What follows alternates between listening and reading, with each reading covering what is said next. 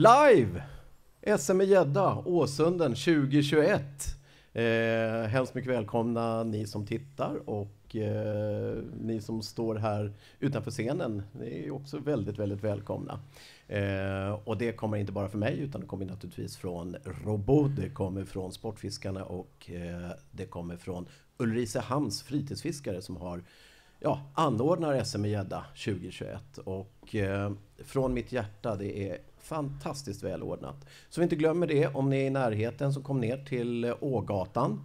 Här finns det en eh, minimässa, det är utställare. Vi har eh, CLC i Hultafors, vi har Mojo Boats, vi har Elge, vi har eh, kajakkillar, vi har båtkillar.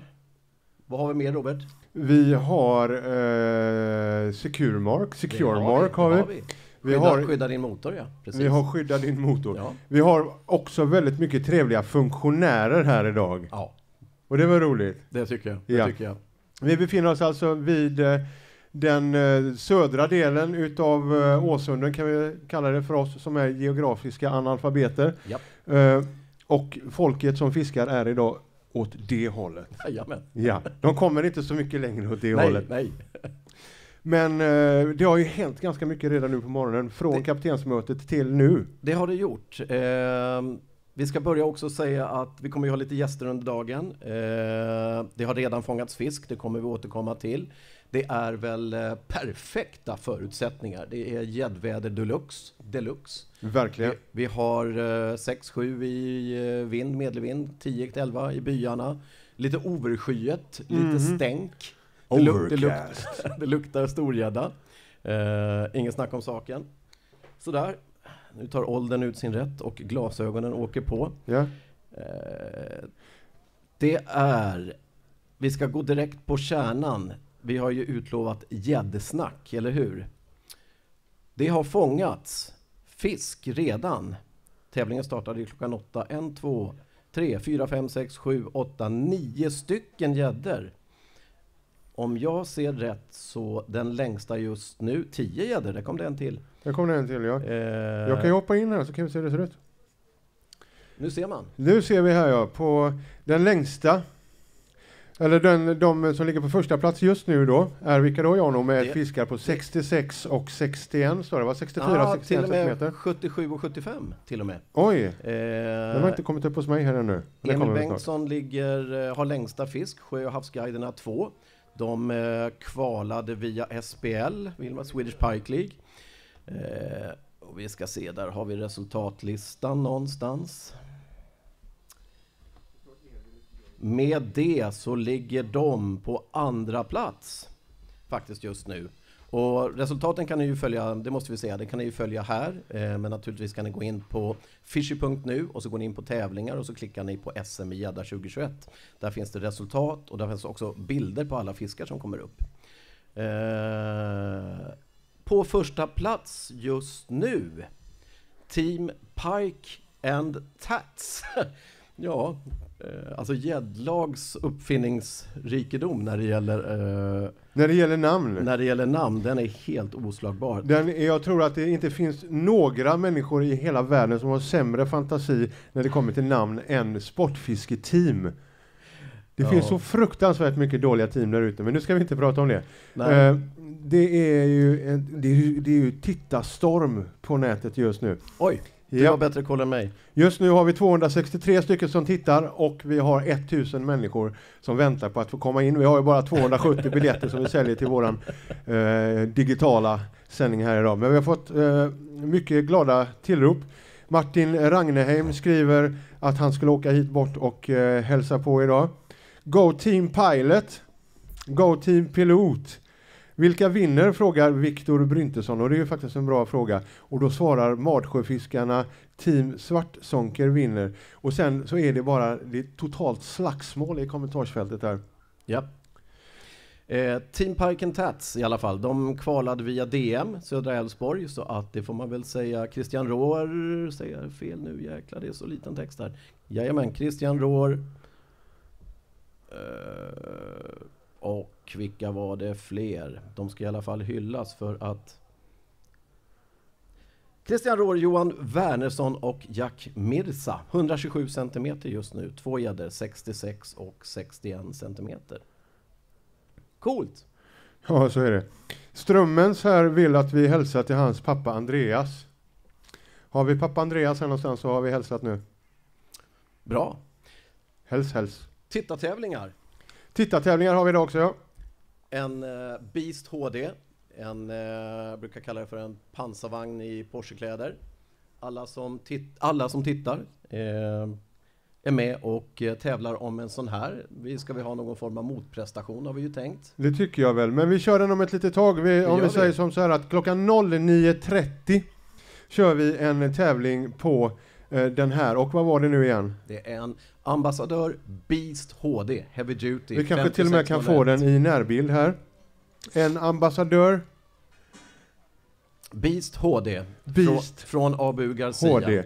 ABU Garcia. Lätt, lättmetallvev, en Beast-vev, eh, aluminiumstativ, super, super eh, eh, brass heter det på engelska. Eh, Vad kallas det för? Superbrass. Nej, det här eh, guldiga metallen. Nu glömde jag bort. Nej, inte brons. Mässing! Sing. Precisionsskurna mässingsdrev i superkvalitet. Det låter mycket fräckare när man säger det på engelska, eller hur? Superbrass. Superbrass. Här Ja. har ni den, alltså en eh, Beast HD, rullar upp och ner på också här. Men riktigt snygg, härlig rulle Mm. i Superbrass. Kom i slutet på förra året eller i början på det här, men det är alltså deras senaste ambassadör. Heavy Duty, den stoppar allt. Den stoppar allt. Så klockan 09.30 kör vi en tävling på den. Se till att eh, vara redo då. Har ni kompisar som ni vill ska vinna den här, så ropa på dem. Har ni folk ute i köket som kokar kaffe som vill vinna en rulle, så ropa på dem och säg att 09.30 kan ni vinna den här. Vi kommer även ha en tävling sen efter klockan 12 på en av de fräckaste ryggsäckar jag har sett. Den är brutalt fin. Ska vi visa den redan nu? Ja, vi kan göra en, en sneak peek. Vi kan göra lite sneak peek. Om du ställer det här framme Jano, och så kan vi väl bara gå igenom lite fräcka grejer. Här har vi den. Den ser ut så här. Kolla där vet du. En otroligt cool eh, rygga som har en, eh, en lampa. Den har en lampa där under. Så att man eh, ser vad man håller på med. Man startar den på något sätt genom att trycka någonstans där. Eh, så man kan titta vad man har i sina väskor och så vidare. Sen så har Knyta en knut i mörkret. knyta en knut i mörkret. Eh, eller eh, den har, där, glasögonfodral, hur bra är inte det? Ja, det där är ju ruskigt bra. Den har titänger. Den har titänger. Jag pratar för fort nu så du höll på att ta av dig glasögonen och lägga ner dem och sen sådär. Den har, den har titänger. Kan vi få en, kan vi få lite närbild på den, eh, den roliga grejen de har där då? Kolla här vet du, det här ser riktigt bra ut. Eh, ni kan alltså sätta era eh, krokslipar och allt möjligt och, så att ni kommer åt dem. Sax eller precis vad ni vill. Riktigt cool eh, rygga från ett eh, företag som heter CLC va? Helt rätt. På insidan här, om du vänder dig ditåt Jano, mot eh, kameran, där, så har vi eh, massa eh, lådor. Fyra stycken ingår. Fyra stycken ingår. Och eh, ja, alltså det finns så mycket mer att prata om den här väskan. Vi har fem stycken som vi kommer lotta ut, så vi skulle ju faktiskt kunna lotta ut en idag klockan 09.45 och så kör vi några i sjoket mellan klockan 12 och klockan 13. Så gör vi. Eh, Så se till att komma in. Jimmy Hoffa skriver att det var en riktigt cool väska. Och eh, Andreas Gustafsson tycker att eh, Bite of Bleak ska eh, kötta nu. Kör, kör! Men du, men du, men Ja. du.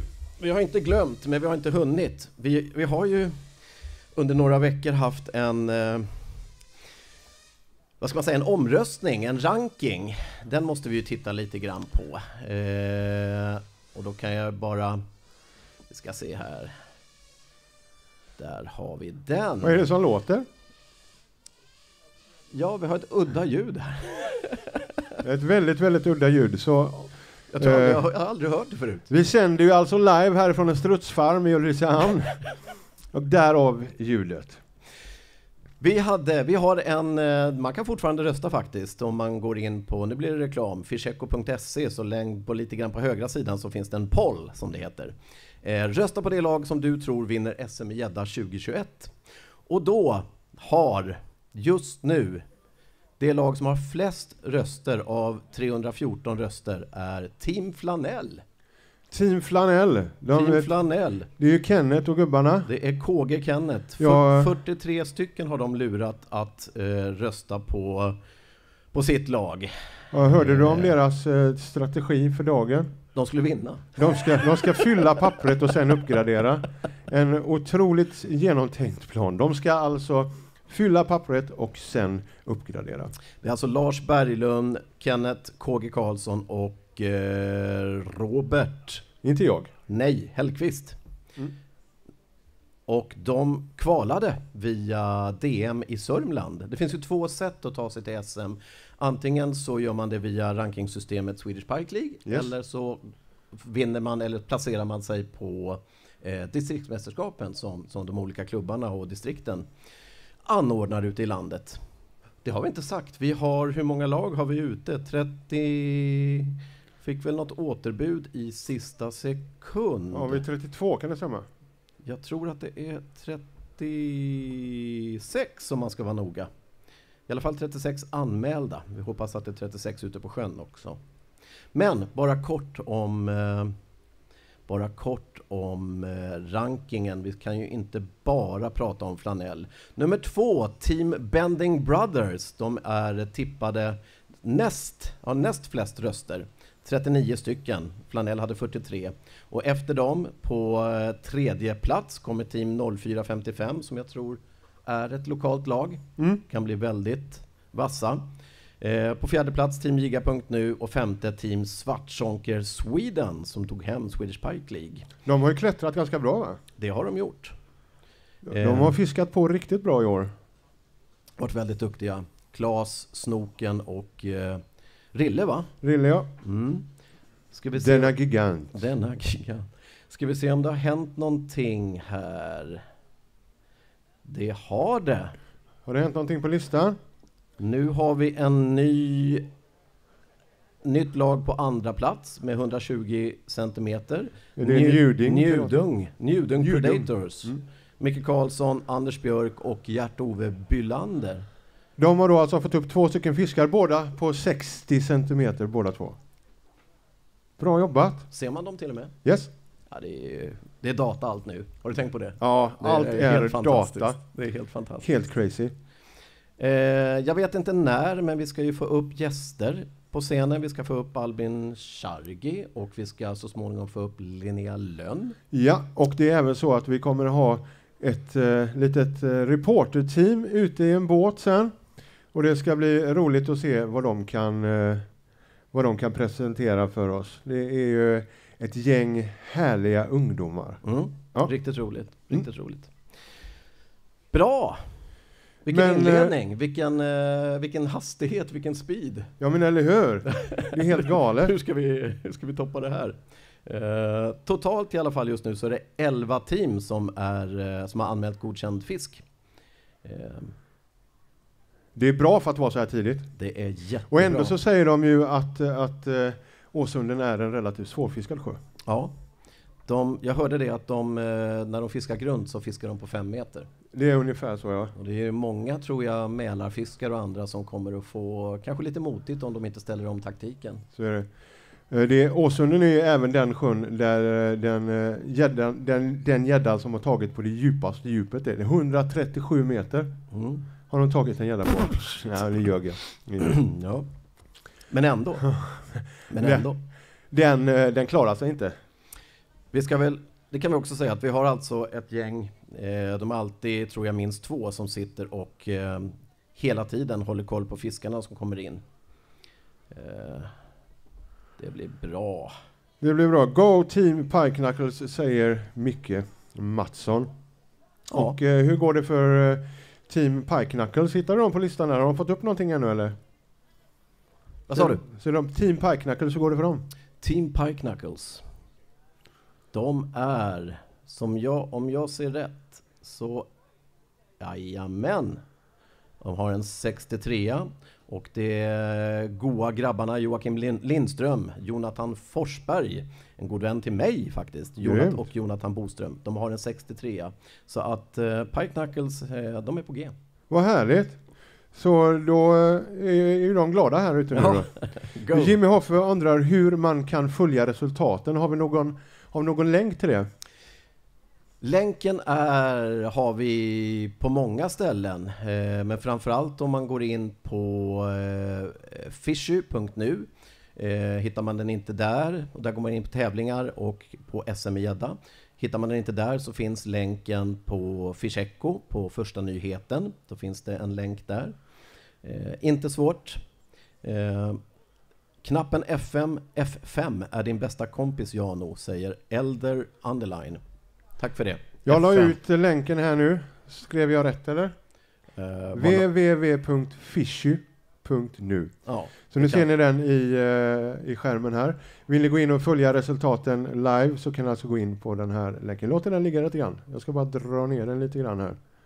där finns ju både bilder på alla fiskar och resultat. Knappen F5, jag gillar det. Det är sant. Uppdatera. Uppdatera. Det är en bra knapp. Det är en bra knapp. 11 lag har fått fisk. 11 lag har fått fisk eh, nu ja. Vi fick en fråga hur det går för, just som sagt, för, för snoken och för grabbarna i Team Svartsonker. Men eh, de, eh, de väntar. De, eh, de har inte anmält fisken, men det kommer, det är jag övertygad om. ja jag De var på väldigt ju, gott humör. De var på fruktansvärt gott humör. Jag pratade med, med dem alla tre här i morse och de har sovit gott och de är pigga och glada. Vi har ju egentligen sportfiskare från långt upp till långt ner som är här idag. Fördelat på 32 stycken team och 110 stycken eh, fiskare ungefär tror jag att det var. 36. 36 team. 36 team. 36 team och 110 stycken sportfiskare. Eh, och det är roligt att se den här uppslutningen som ändå är. Det här kan, eh, kan nog faktiskt vara det bästa gädd-SM under 2021. Det vill jag påstå. Jag tror det. Alla kategorier. I alla kategorier. Bra! Bra ja, och snart så kommer ni få träffa en herre som heter Alvin Chargi som är från ett företag som heter Mojo Boats. Han kommer närma sig scenen här om ett litet tag. Eh, då ska vi ta några ord med honom där. Vi kan se hur det ser ut i kommentarsfältet här också. Eh, skitfiske, alla säger de, och de har ju frågat hur det går för dem. Är något lag från Norrland med? Jag kan inte alla lagen, men det hoppas jag. Det hoppas jag att det är. Ja. Eh, om vi... Jag har lärt mig, jag vet inte om det är sant, men att Norrland börjar någonstans vid Gävle. Jag har alltid sagt att det Stockholm är... har jag hört. Allt ovanför Stockholm är Norrland. Okej, allt ovanför Stockholm, då är det många lag från Norrland med. men eh, vi har ju bland annat... Vi har Vad sa du? Nu är eh, ni är i Skåne. strax, ja. Jag är i Småland.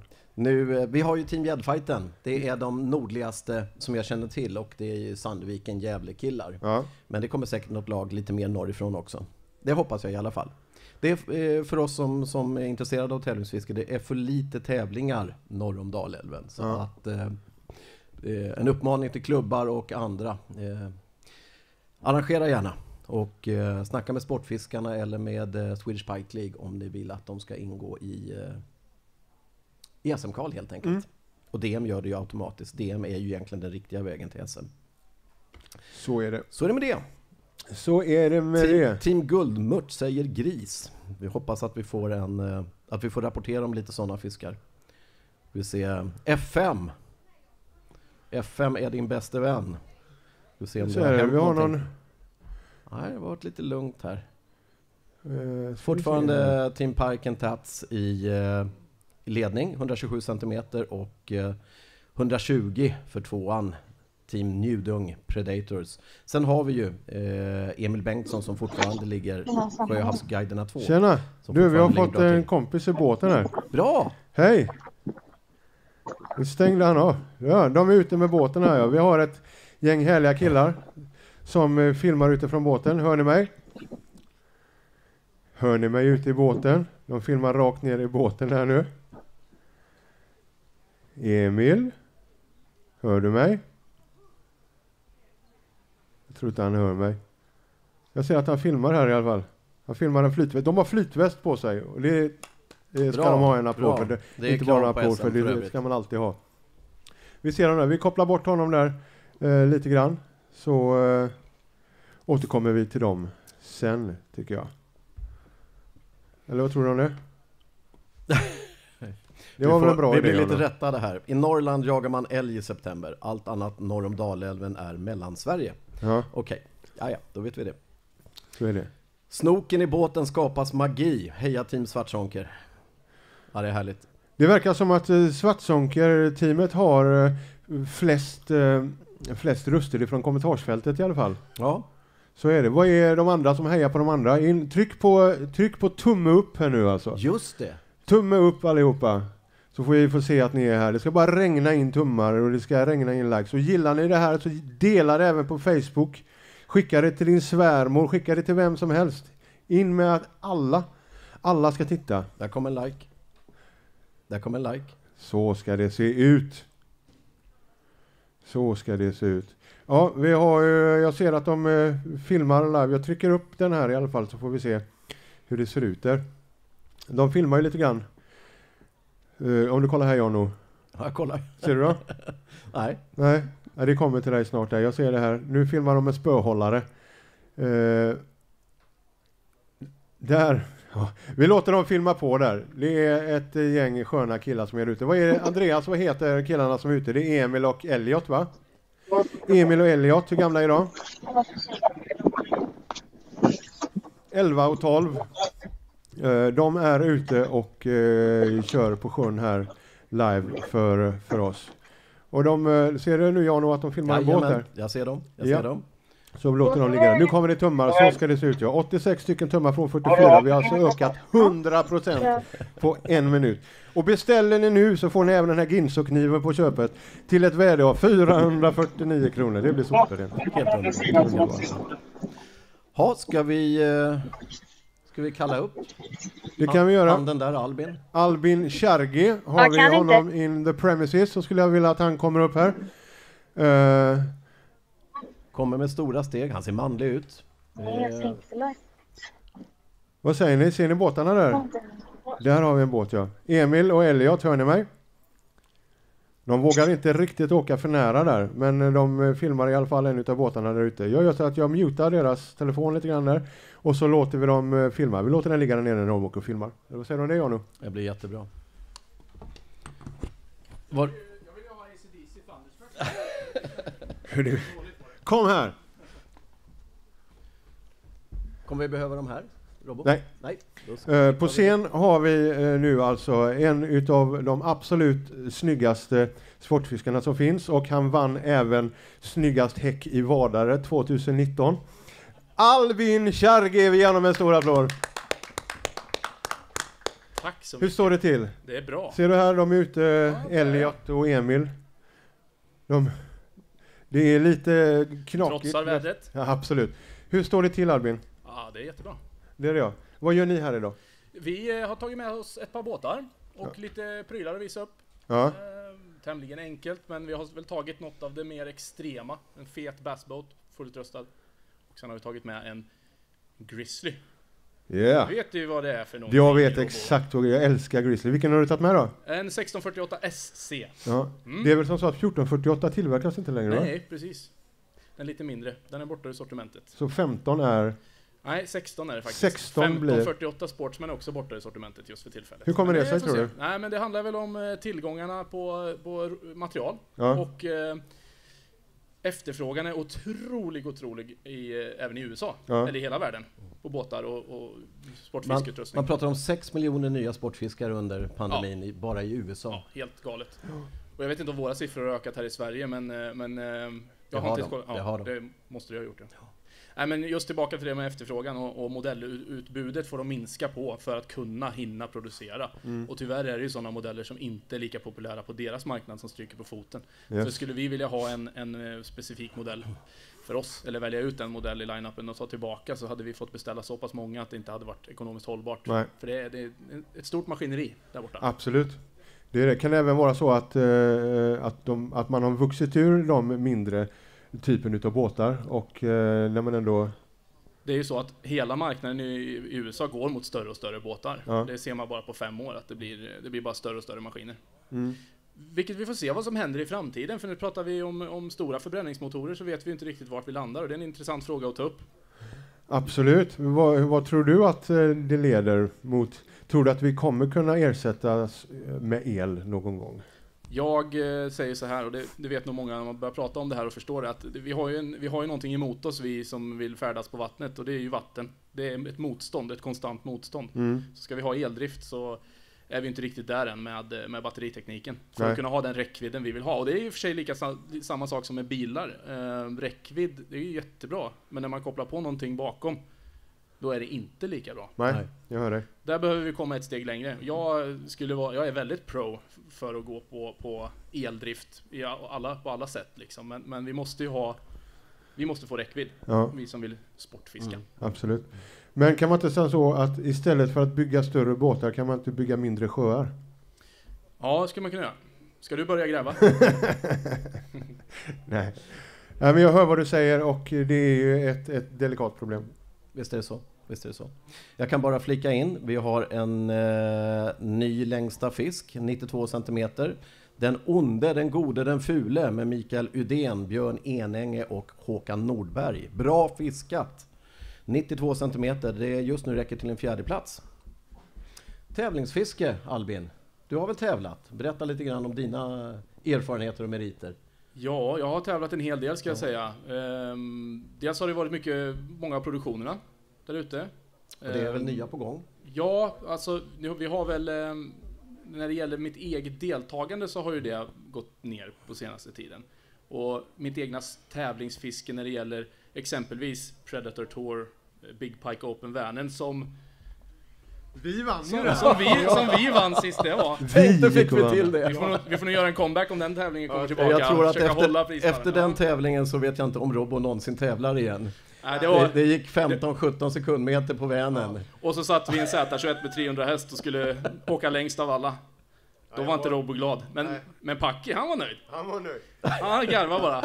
Alltså, jag, mitt problem är ju att jag gillar ju inte fart. Och Och då, är det, då, är det, då kan jag säga så här, då, Då är det fel sällskap. Wrong company man. Och då, om man kombinerar fart från en, en, ett sånt monster som både han och båten var eh, med vågor som var minst 300-400 meter höga. Ja, om det räcker. Ja, men jag drog igen allting så satt jag bara så räknade i huvudet. En, två, tre. Så på något sätt så, så jag, jag tappade det liksom. Jag vaknade upp sen när jag typ hade kommit till tio och då var vi hemma och hade åkt en timme liksom. Så jag måste ju ha svimmat där någonstans. Micken närmare Albin, säger folk. Så här kanske. Det blir jättebra. Ja. Det blir jättebra. Eh, framtid och såna här grejer, vad händer inom sportfisket? Du är, du är ju verkligen inte bara en, en båtkille utan du, eh, jag vet att du har järnkoll på vad som händer. Influenser, är det abborrfisket som kommer att växa? Jag tror Eh, Får vi, definitivt. lite- får vi lite analys? Ja, alltså abborrfisket är ju, det hör jag ju bara jag pratar med, med, med folk och jag hörde ju senast här idag ett par ungdomar som berättar att de helst fiskar abborre. Jag har kunder som kommer in i butiken hos oss som köper sina nya fina båtar och det, är väldigt, det styrs väldigt mycket mot abborrfiske. Mm.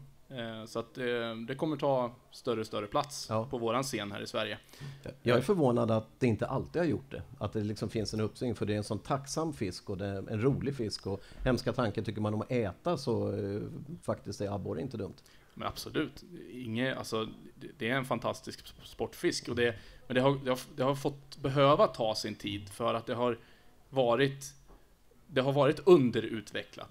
Om man får säga så. Ja, och fokus på gädda. Ja. Exakt. Men det är egentligen inte så konstigt för det är en ekonomisk fråga också och eh, predatorfisket, eller det stora predatorfisket, eh, är ju ett, ett fiske som är mycket enklare Mm. att sälja in. Ja. Det är mycket snabbare pengar, det är dyrare prylar Mm. och så vidare. Eh, det, då förstår man ju att även som, som om man får tänka ur, ur en sportfiskebutiks synpunkt, att man säljer ju hellre stora prylar än massa små. Liksom. Det, ja, men det är ju inte konstigare än så. Helt visst, det klart, ja men så är det ju. Och, och när det kommer just, om vi ska prata den ekonomiska aspekten, vilket vi inte ska stanna kvar på alldeles för länge Nej. tycker jag, för det är inte jätteintressant. Nej. Men, när det kommer till mycket prylar, ja men abborrfiske, herregud, det är så otroligt mångsidigt. Du, kan, du, du, du måste anpassa dig efter var du, vart du fiskar och vad Mm. du har för grejer. Mm. Det är inte två uppsättningar med spön och Nej. rullar och eh, två lådor med beten, utan vi, vi, vi pratar sju, åtta uppsättningar med spön om man vill prova olika tekniker. Men det Mm. gör det också väldigt roligt, och där finns det mer, där, där kommer det ju hela tiden mer. Det är ju direkt kopplat till bassfisket i USA. Ja. Inget snack. Nej. Man kan inte säga ska- någonting annat. Det är därifrån det har kommit USA och Japan. Ehm, och det är därifrån det kommer att komma. Sen kommer det eg- komma egen utveckling och twistar på, på tekniker och beten. Håll kvar den tråden, håll kvar det i huvudet. Vi har... Eh, eh, det händer lite grejer här. Team Sjö och havsguiderna 2 med Daniel, Johan och Emil, de som tog första största fisken, längsta fisken, har gått upp i ledning med 173 centimeter. De har utöver den på 96 har de en, nej förlåt mig, utöver den på 77 så har de en 96 nu. Inte illa fiskat. Bra jobbat! Går man 96 in- och 77 ja. Jajamän. 96 och 77. Går man in på fisher.nu, tävlingar och SM i gädda så kan man se under fliken rapporter så ser man bild på de här äh, tjusiga fiskarna. Där har vi, om jag inte säger fel nu, Emil med 96an och Emil slog till igen med 77an. Flotta fiskar. Grymt jobbat. Knubbiga, vackra fiskar. Ja, härligt. Det är nog lite tufft där ute. Jag tror det. Ja. Eh, men det är ju väldigt, väldigt gäddigt väder. Väldigt gäddigt väder. Det är inte dig. lika abborrigt väder. Det är inte lika abborrigt väder. Förutsättningarna finns där idag för att plocka riktigt mycket och stor fisk. Helt klart. Så det Helt ska klart. bli roligt att se. Ja, ja. Eh, nu är ju du uppe vid en tidpunkt där vi eh, ska lotta ut någonting. Oj, Så. oj, oj. Vi ska ju lotta ut den här och vad var det för någonting Jano? Det är en Amba ABU Garcia Ambassadör Beast HD Heavy Men- Duty. En 5600 alltså. En 00. En, ja, Skänkt av, det får vi inte glömma, Volmars Sportfiske. yes. Skänkt till SM i gädda för att eh, lottas ut under livesändningen. Ja, och Volmars är en mycket trevlig eh, sportfiskebutik som ligger i Borås. Har ni vägarna förbi så ska ni kika in där. Vad tycker du att de ska göra för att vinna den här? En fråga, vi ställer en fråga. Kan du ställa en mycket bra fråga? Och den första som skriver det rätta svaret i kommentarsfältet kommer vinna den här. Ska vi köra en sån riktigt snabb, eh, f- f- en fakta-uppenbar fråga för den som snabbast letar reda på det? Det tycker jag. Hur lång är svenska rekordet på gädda? Hur lång är alltså svenska rekordet på gädda? Och den som, skynda! svarar, den som svarar rätt först i kommentarsfältet vinner alltså den här Beast HD som är byggd på en 5600 och eh, den är grön och sjukt snygg. Så första svaret, 135, vad säger du om det? 158 gissar jag på. Det gissar du på. Ja. 158, Det skriver jag. det skriver du. Ja. Ja, då kör vi vidare. 136 säger Karate-Knut. 137, 134. Säg till när du ser rätt svar, för jag har inga läsglasögon på mig. Ja, men okej. Men jag har Åh, inte koll, jag måste herregud. kolla Nej, men facit. jäklar, jag har redan kollat. Ja, Ja. bra. Perfekt. Eh, ja, jag hinner inte. Det här var ingen bra idé. jag får gå upp här. Där började det. Då kan jag säga. Och eh, preliminärt vill jag nog, det här var ju en udda grej. Eh, Uh, vad jag har ställt nu, till nu det. sitter jag och håller här i, i den här baren på höger sida. Första som kom in tror jag var Mikael Breding, 135. Ja, Eh, sen så har vi Karate-Knut, 136 gissar han på. Ja. Och sen har vi Staffan Bergström. Och vi får nog säga att det här är preliminärt, men vi gratulerar Staffan Bergström till eh, 95% för han har skrivit 128 centimeter. Och går vi då in på Sportfiskarna, jag var snabb där, Svenskt Bra jobbat, rekord Jano. på gädda och Fredrik Fidde Johansson från Enköping, han fångade ju den här absolut Majestätiska otroliga fisk. fisken på 21,07, 21 070 gram. Eh, någon gång, vad kan det vara? Det står inte datum, 2016. Och det var till och med första april. Den du, när man berättar det för folk. Och i Sportfiskarnas rapportering om den fisken så var den 21 070 gram tung, 128 centimeter lång och 70, 71 i omkrets. Åh herregud. Galet. det det- var en julgris. Det var det. Så Staffan Bergström, en stor applåd Grattis, till dig. Staffan. Jättebra jobbat. Grattis! 128 centimeter. Du har vunnit den här. Och eh, den här kommer Ulricehamn, eh, Ulricehamns fritidsfiskare Fiskare. skicka till dig. Och jag tycker att, eh, nu ska vi se, kontakt på Ulricehamns fritidsfiskare. Det är de som sitter på rullen. Den, eh, det finns på fritidsfiskare.com. Skicka ett mail dit. Så ordnar de så att den kommer hem till dig. Ulricehamn UFF Ulricehamn hotmail.com UFF Uppla, eh, Ulricehamns fritidsfiskare UFF Ulricehamn at hotmail.com Skicka namn och adress, telefonnummer, hela balletten så kommer den hem. Bra Nej, skit! Vi Jag fick, pajade hela flödet där såg jag, hela, hela kommentarsfältet. Vi, eh, vi fick en liten eh, fråga här. Vissa fick frågan efter, eh, efter andra eftersom sändningen går väl inte ut exakt samtidigt Nej, till alla. Just Jo det. men det gör den faktiskt. Eh, den enda som egentligen eh, får det lite tidigare är de som är här på plats och det var Micke Breding och han svarade fel ändå. Så eh, sändningen går ut eh, samtidigt till alla. Alla får den lika sent. Det är en 30 sekunders fördröjning till alla och det är en fördröjning som är för, eh, det är en amerikansk fördröjning för att om det skulle hända någonting i en livesändning så vill de kunna eh, kutta och ta bort 30 sekunder om det händer något attentat och så vidare. fick jag lära mig något nytt. Vad trevligt. Ja, vad härligt. Alltid lika roligt. Mm. Yes! Vi pratade abborre va? Ja, lite influenser och kommande ting. Alltså det är ju väldigt America. svårt att säga för man kan ju liksom inte sia om framtiden. Men det händer mycket hela tiden på, på amerikanska och japanska betesfronten. Vi har ju eh, många duktiga sportfiskare som, som tar tillvara på sådant och, och är tidiga. Vi har leverantörer som är väldigt duktiga på att plocka in eh, grejer som är lite ovanliga. En är ju med här idag, International Tackle, eh, exempelvis, Mm. eh, som, som säljer Duo, eh, som säljer Megabass eh, och så vidare. Miller Rods. Miller Rods. ehm, Grymma spön. ja, men det, det finns, det, det händer mycket. Jag kan inte säga mer om det. Jano, vad märker du ute på, ute på tävlingar, ute på sjöarna, Ja. ute i, i... Nej men alltså, om man, om man tittar på tävlingsfisket efter abborre så mot sig för bara 3-4 år sedan så finns det ju idag etablerade otroligt skickliga abborrlag som går liksom all in på abborre. Eh, Millerods, eh, Ja, hela... vi har ju grabbarna här borta. Ja, det har vi. Absolut. Och, och vi hade Sveriges första SM i abborre för en, jag hittar på en månad sedan på Norasjön. Eh, så att sportfiskarna satsar på abborre, eh, utövarna satsar på abborre. De här båtarna och utrustningen, det är, alltså det är ju totalt abborrdedikerat. Jag tror knappt de fiskar gädda. Nej men precis, och det får jag lite känslan av också när vi tittar på, tillbaka till, till våra kunder på båtar. Mm. Så är det otroligt, fortfarande otroligt många allround-fiskare. Men det, det blir mycket mer åt det hållet att man är antingen gäddfiskare eller Mm, abborrfiskare. Om mm. man nu ska tala i det som en tävlingsform eller som sitt stora intresse på fritiden. Sen en annan sak vi liksom, givetvis, och det, det är ju i tävlingssammanhang så här att prata om, är ju också hur, om, och värna om, värna om våra vatten och tänka på hur vi, hur ska göra det. Jag skulle väl säga att när man när man pratar om abborre som art att tävlingsfiska på så får jag ju fått känslan av att det är ganska tacksamt när det kommer till överlevnads... Alltså mortaliteten kanske Ja. inte skulle vara lika hög som på gädda. Får vi se om det finns några intressanta studier att titta på eller komma. Eh, Det där det. har inte jag så bra koll, men, men det är väldigt intressant ehm, att titta på. Fall. Ja, jag, min känsla är densamma.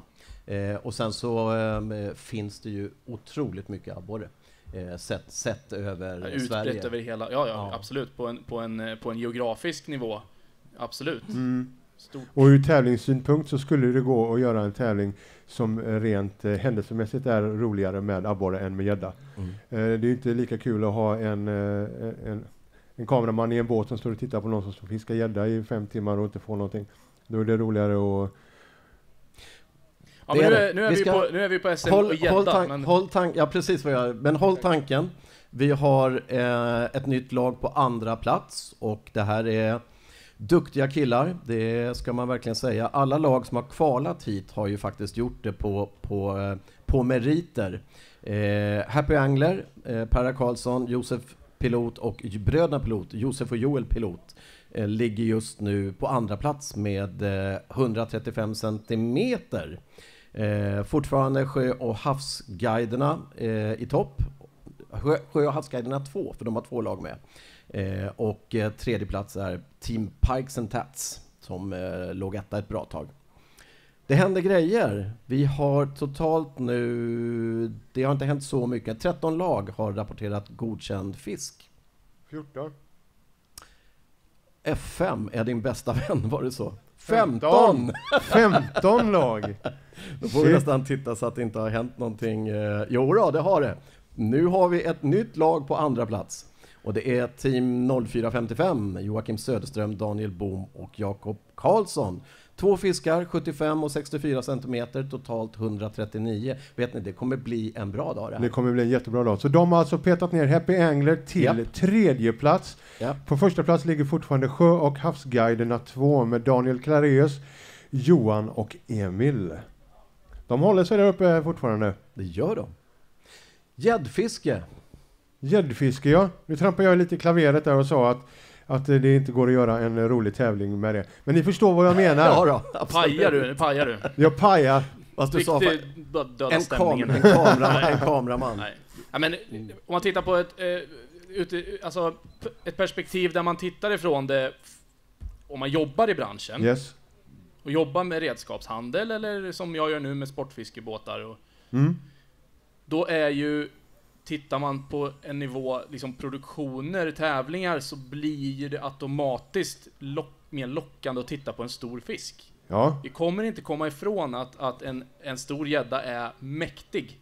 Det är en otroligt, otroligt häftig fisk. Mm, absolut. Om man nu skulle ta det så långt så att säga att de gör sig bättre på film. Om man säger att man ska titta på den aspekten så är gädda en roligare tävlingsform i min, i min alltså om man Ja, säger så. det håller jag med om. Så Ja. för att vända på det liksom. Ja.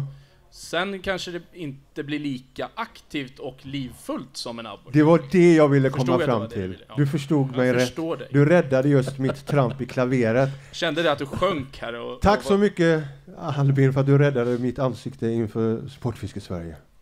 Nej men, eh, alltså, håller du med? Ja, håller du med med, Jonna? 100%. Kan du hålla med? Ja. Jag håller med dig. Det är... Jag har stor en- respekt för dig Albin. Du är en kunnig rackare faktiskt. Tack. Det är han. In, influencer. Eh, där, där, eh, jag tycker det är så intressant därför att eh, vi tittar ju mycket på USA när det gäller väldigt mycket fiske men eh, banne mig kanske inte lika mycket när det gäller gäddfisket. Var hämtas de idag? Där har vi ju en otroligt stor utveckling inom Norden. Jajamän, Alltså, det var så dit har det komma. varit, exakt. Ja men vi har ju ett sjukt gäddfiske i Kanada och norra USA. Ja. Men det är ju inte... Jag skulle vilja På- gå så långt och säga att vi ändå ligger lite före dem. Det Ja, gör jag tänkte vi. precis säga det. Det är Helt faktiskt klart, så att de, de tittar ju på oss. Ja, Så är det. Det är Ja. coolt. Ja, ja. då tycker jag att vi ska försöka få in en hyllning till Svenskt Betesbyggeri Det tycker jag. i det här också. Och det, vi har ju en jätteduktig betesbyggare här idag, Micke Breding. Var har vi kameran? Eh, kameran, kan jag få en närbild på det betet som han håller där? Eh, Micke Breding är ju en kille, han har ett företag som heter Custom, Custom Baits. Eh, och han är otroligt potent, inte bara snygg och reslig, han är även en väldigt duktig hantverkare. Och hans dotter fyller förresten 18 år idag. Får vi gratulera? Ja, eh, det är inte illa. Nej, så han är på väg dit istället för att vara här och det tycker jag var rätt beslut. Han Ja, var här på morgonen. Och då fick vi den här av honom bland annat. Ja. Eh, jag kallar den för San Francisco, ser ut som den här drinken. Jag, är lite, jag gillar ju drinklister och såna här grejer. Men den heter någonting annat, men det är en otroligt fin jörk. Vi kommer nog snart om du håller upp den här lite grann till. Jaha, Eh, där. Sen, jag fick också ett jättefint bete, men jag vet inte riktigt var jag la det. Emil snodde det med en gång tror jag. Ja, det är klart. Får du någon närbild där, Emil Ja. eller? Nu ska vi se, här har vi det ja. vrider jag, vrider jag den lite fram och tillbaka så här så man ser vilken Vrida den ner Fan. dit. fantastisk... Är det där? Då får ni ju... s- Och ner lite. Åh, ner lite. Där Nu har vi en, en slow motion på Micke Bredings fantastiska jörk här. Ja. Custom baits. Custom Baits. Och, eh, där ja. och eh, är det så att ni är intresserade av eh, att eh, kolla in honom så kollar ni in honom på nätet och det här fick jag utav honom. Jättefint. Vad tycker du om det? Tjusigt. Jag gillar ju färger. Ja men det där är ju härligt. Det är som en liten eh, omvänd papegoja. Absolut. Ja, nästan lite reggae över den där. Ja, lite, visst, eh, visst, visst. Med härliga prickar på eh, svansen där. Eh, yes, och hur ser framtiden ut för er? Har ni några roliga saker på gång eh, på Mojo Boats? Kan vi säga så här att vi har ju precis eh, haft vårat eh, årliga event som inte blev av under 2020, eh, On Water Days. Det körde vi nu i Askersund för några helger sedan. Ja. Otroligt lyckat trots ännu värre väder än det här. Vi hade väl regn i stort sett hela lördagen och söndagen. Ja, det var superlyckat, det märktes att folk var på G, ville göra någonting roligt. Ja. Där bjuder vi ju in våra teammedlemmar med sina båtar. Och så bjuder vi in våra kunder att komma och besöka och åka med ut. Så får de, de testa våra modeller på, på vattnet. Mm. Otroligt rolig tillställning, måste jag säga. Men ni hade ett Många nöjda. uppehåll på ett år då? eh, under, eh, Exakt, vi Ja. utförde den inte under 2020 då. Men eh, vi är tillbaka igen eh, 2022. Ja. Absolut. Nu kan jag säga också att kommande event eh, vill jag ju göra lite reklam för. Vi har ett 10-årsjubileum, vi firar 10 år i år. Kul! Jajamän. Grattis! Tack, tack. Eh, nu har inte jag varit med så länge, Nej. men eh, 10-årsjubileum firar vi 30 oktober. Det är en lördag. Tjusigt. Och Tobias Frenstam kommer vara på plats och hålla föredrag. Gäddprofessorn, Jajamän. den, yngre. Absolut. och så kommer vi ha lite kampanjer och lite roligt under dagen där. kul! Hamburgergrillning och så vidare. Så det, där är ni varmt välkomna. Vem är det som gör burgarna då? Ja, det är Kalle. Kalle som vanligt. Kalle Forsberg, Fixa Burgarna. Våran Yes. eh, lokala hamburger... Han gör hamburgerkock grymma burgare alltså. Ja. Grymma burgare! Kö, kö, kön brukar vara lång för Och undrar, ni burgare. var, undrar ni vart vi ligger så är vi i metropolen Pålsboda utanför Örebro. Ja. Nej, men kolla in, mer information finns ju på vår Facebook och på vår hemsida, mojoboats.se. ja. Kolla in och är det så att ni inte ska köpa båt så åk ändå dit och titta och ät burgare hos Kalle. Och kom hit om ni är i närheten. Kom Ja. hit och Absolut. träffa Albin och titta på hans Vi finns ju fantastiska här under dagen, båtar. absolut. Och vi har ju två båtar med oss. Vi har lite urval av de produkterna vi säljer väldigt mycket av. Vi tog inte med oss jättemycket grejer. Vi är bara två stycken. Det är jag och min kollega Eddie som har hand om, om postorder och butik. Han är med här. Ehm, och, nej, men kom och snacka med oss. Och, och, och vill ni veta, liksom, vill ni ha offerter och priser på båtar om det skulle vara så, då ordnar vi sådana. Det är inga Grymt. konstigheter. Albin Chargi, tack så jättemycket för att du ville komma upp och prata med oss. Tack för att jag fick Eh, komma. Inga konstigheter, det var en ära för oss. Eh, jag kan ta den där. Vill du ta med dig den här? Så... Nej. Tack Albin, underbart. Tack som tusan. Underbart. Ska Eh, vi se om det har hänt något? Då ska vi se om det har hänt något. Eh, F5 är din bästa vän. Fortfarande Sjö och havsguiderna 2 i toppen. 0455 2 Happy Angler, 3 4 Team Pikes and Tats. Det har inte hänt någonting radikalt på 5-10 minuter, det kan vi ju ändå inte påstå.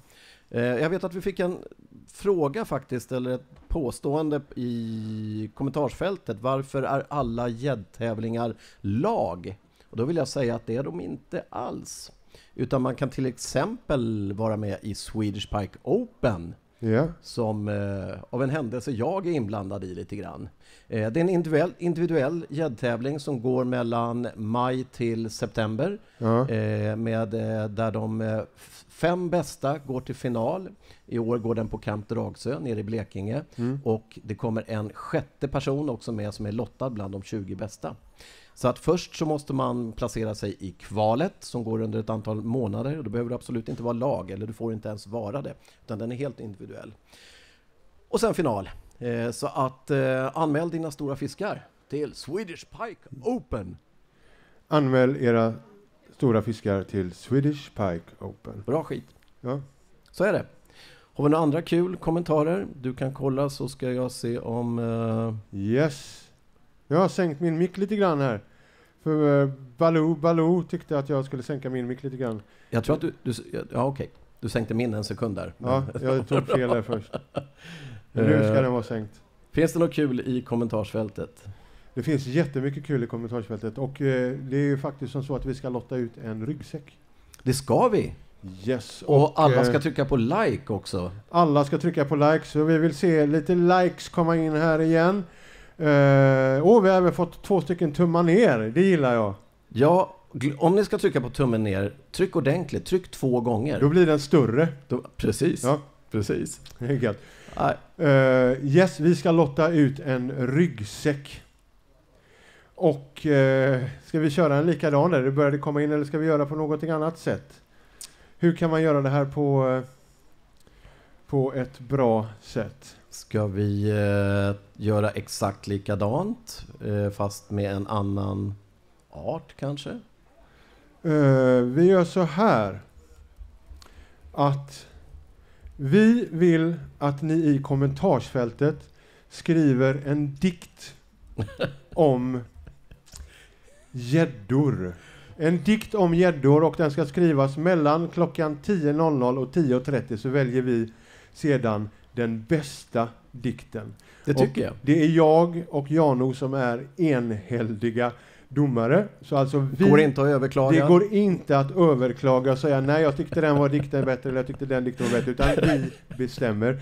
Och väskan har vi då Och det måste igen vara minst fyra rader va? minst fyra rader. Det Mm. går bra att skriva en haiku eller skriva en vanlig svensk eh, dikt eller vad ni vill. Huvudsaken är att den handlar om gädda. Så mellan klockan 10.00 och 10.30 får ni lov att skicka in dem och det ser vi ju på tiden här också när kommentarerna har kommit. Och eh, så väljer vi en vinnare och presenterar det sen klockan 12 när livesändningen fortsätter. Har du ryggarna någonstans så vi kan visa upp den Jajamän. igen? Jag ska bara säga att vi får massor med tummen upp i kommentarsfältet. Och det gillar vi. Men tryck gärna på tummen upp. Hur säger man Robbo? Under sändningen. Ja, tryck på like, tryck på Like. like på sändningen också, det gillar vi. Sådär. Här har vi då igen alltså ryggan. Eh, det är en rygga, den här heter Wild River, den tillverkas eller säljs ut utav CLC och det är en fruktansvärt cool väska som har Vi- mängder med funktionaliteter. Vi kan, vi kan lägga in att CLC eh, har liksom som motte, motto att göra världens bästa väskor för yrkesfolk och, hör och häpna, sportfiskare. Så eh, sannolikt sitter det någon eh, VD någonstans som gillar att fiska som slängde in eh, sportfiske i den meningen eh, och inte bara eh, bägar där man kan ha eller väskor där man kan ha skiftnycklar och såna här grejer. Utan, eh, och jag har, jag har ju använt den själv flera gånger nu när jag har spankulerat runt min hemmasjö och det är inte bara en bra väska, den är skön. Om du vänder på den så ser du att det finns fantastiskt fina vad kallar man det för? Band, remmar, vad kallas det för? Ryggsäcks... Ax, bärrem, Bärremmar. vad kallar för det? Som är väldigt bekväma så att den sitter som en eh, smäck på, på ryggen. Det är kvalitet rätt igenom. It sits like a smack on the back. It does. Yes, it does. Eh, som ni ser, jättemycket härliga fickor. Det är massa coola grejer. Eh, har ni inte sett de här tidigare så kolla in dem på nätet. CLC eh, väskor och ni kan alltså vinna den här. Ni skriver en dikt och eh, den ska ni skriva mellan 10.00 och 10.30 och vi väljer sedan vilken som vi tyckte var bäst. Nu, Det, du, nu, kolla nu. Vi, vi får, vi får, de tycker dikt, vad fan, det här är fiske. Okej. Så när blev det fjantigt att skriva en dikt liksom? For real? Nej, det är Vad helt är det för underbart. människor ute i helt, Sverige? Helt underbart. Jag tror vi kommer få många dikter faktiskt. Jag tror Och det där, det. är, det där är faktiskt bara den första av fem vi ska låta ut under dagen. Vi kommer alltså lotta ut Mm. fem stycken av de här väskorna under dagen. Men den CLC, första är en Wild dikt. Mm. Breaking news. Vi bryter, vi bryter det för att säga att vi har en ny längsta fisk. Jag hoppas jag inte gör bort mig nu. Nej, men kviddfiskan, Team Kviddfiskan. Conny Ekstrand, 98 centimeter. Så nu, eh, Emil Bengtssons fina fisk på 96 är slagen av eh, Team Kviddfiskan. De ligger då och just nu med den 98 inte så dumt, på sjätte plats. Conny Ekstrand, Anders Gustafsson och Peter Karlsson. Bra fiskat grabbar, 98 centimeter. En fin fisk. Eh, nu väntar vi faktiskt bara på den första plussaren. Ja, Eh, nej, Hunkan tror jag, den gode snoken har jag hört. Det kanske alla säger, men jag har aldrig hört det förut. Men i någon av de här fina produktionerna så säger snoken Det är en Hunka! Det är en Hunka! En 100 centimeters plussare. Det vill vi se. en 100 centimeter plussare vet du. Eh, ja, Emil och Elliot är fortfarande ute och eh, filmar och har sig. Eh, eller titt som tätt. De åker fram till båtar, de tittar, filmar lite och åker vidare. Jag tror inte de vill störa. Ja, de gör ett riktigt bra jobb där ute tycker jag, Emil och Elliot. Två riktigt sköna gubbar. Och nu är de på väg in här igen. Eh, Jan, och vad kommer hända eh, under dagen här på plats? Vi skulle, vi, eh, vi har chattrat så mycket du och jag och Albin att vi, har, vi får skjuta på en grej och det är att vi kommer att träffa en riktigt, riktigt duktig sportfiskare, en sportfisketjej som heter Linnea Lönn. Men det kommer vi ta i, i nästa sändning som börjar klockan, klockan 12.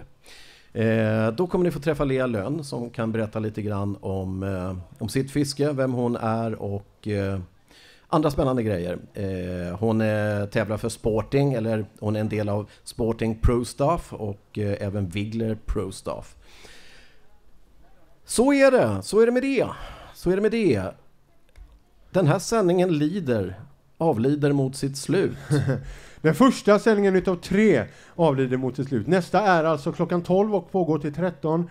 Och den sista för dagen börjar klockan 15 och håller på till klockan 17. Det blir väl trevligt? Det är ju inklusive prisutdelningen om jag har förstått det rätt. Inklusive prisutdelningen, ja. Ja. ja. Eh, ja, ska vi börja runda av? Det tycker jag. Eh, Det har varit jättetrevligt. Vi syns igen klockan 12. Och ett stort tack till er eh, runt 500 personer där ute som tittar, som engagerar er, skriver och är med här. Och så säger vi väl det att en rekorderlig tös och en riktig kar gärna skriver dikter. Yes, så är det. Så är det. Så är det faktiskt. Så vi är strax tillbaks igen. Adjö. Det är vi.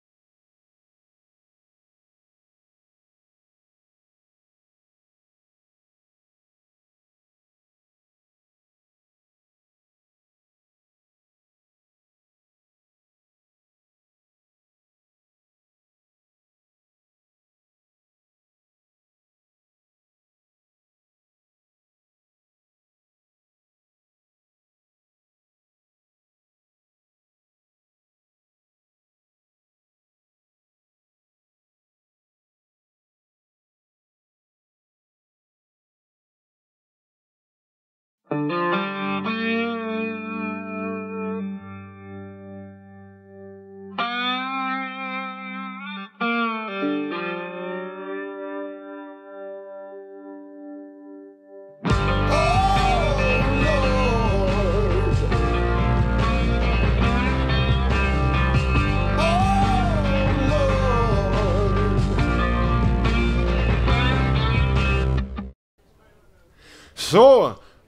tillbaks här igen i Risehamn. Kan vi få lite jubel? Så ska det låta ja. Som ni vet så eh, befinner ni er just nu på gädd-SM och det är dags för oss att göra något fruktansvärt kul. Har vi några barn här idag? Har vi några barn här idag? Bra, ni ska få spö. Kolla här. Det finns ett eh, företag i Borås som heter Volmars och eh, de eh, tyckte att vi skulle ge barnen lite spö. Precis så sa de. Så vi ska börja med, har vi några barn som fiskar här? Hur, hur många är ni då? Ja, vi får väl se. Vi får väl dela ut så långt det går. Det här hade vi ett med en gång. Ge mig ett här. Spö. Patrik, du kan komma med lite spö där också då. Ja, det här, vi hade en från Volmars där. Men då vill vi höra lite jubel! Så ska det låta, ja. ja ett, ett, ett. Vi är med här.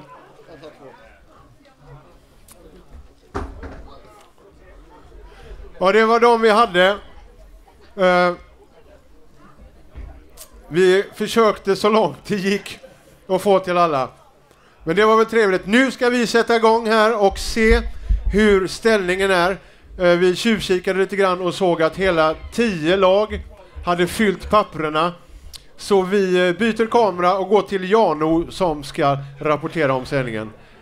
Mina kära vänner, Gädd-SM är åter igång igen live på nätet. Yes, då kör vi. Vi börjar med att gratulera Team Parks and Tats, Christian Rohr, Johan Wernersen och Jack Mirsa till bästa resultat klockan 12. 251 centimeter. Och vad får de för någonting då? De får så mycket som, vilken kamera, är det den? En svartsonkerulle, en ambassadör svartsjunkerrulle och de får ett Beast-spö. Yes. Eh, också skänkt från Abu Garcia. 30 till 110 gram, ett fruktansvärt bra spö. De får vara- inte bara det utan de får även en liten lina. Stealth Smooth 8. Eh, en liten kul kuriosa är att jag och den här herren här har varit på fabriken i eh, USA och tittat när de tillverkade den här linan. Kanske inte just den här linan, men lina överlag. Det har vi gjort. Det har vi gjort.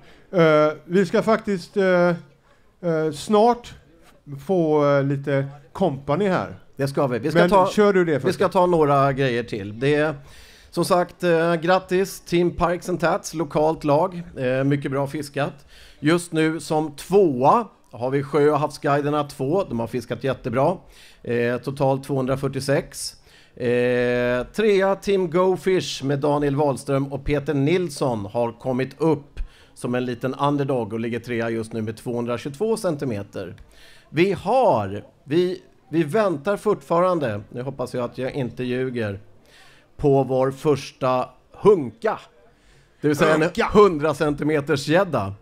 Eh, Conny Ekstrand leder fortfarande med en jättefin fisk på 98 centimeter.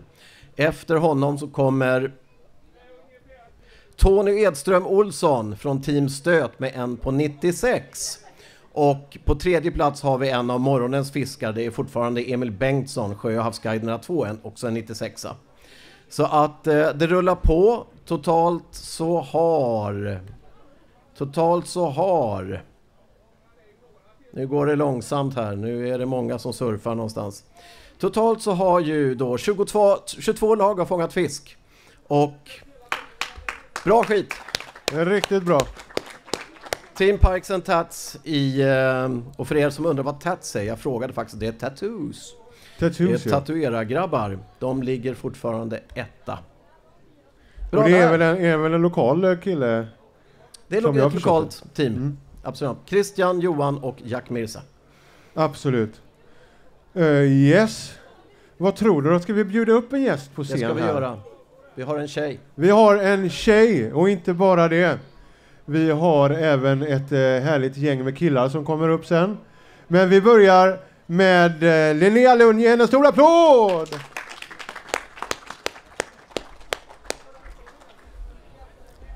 Linnea Lund, denna gigant. Hej, välkommen! Här har du en liten mikrofon också. Eh, hur står det till? Håll den nära munnen.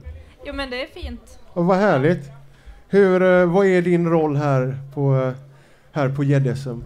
Ja, jag blev ju hitbjuden för Håll att vara med här. Ja. Och sen så även att vara lite med i juryn.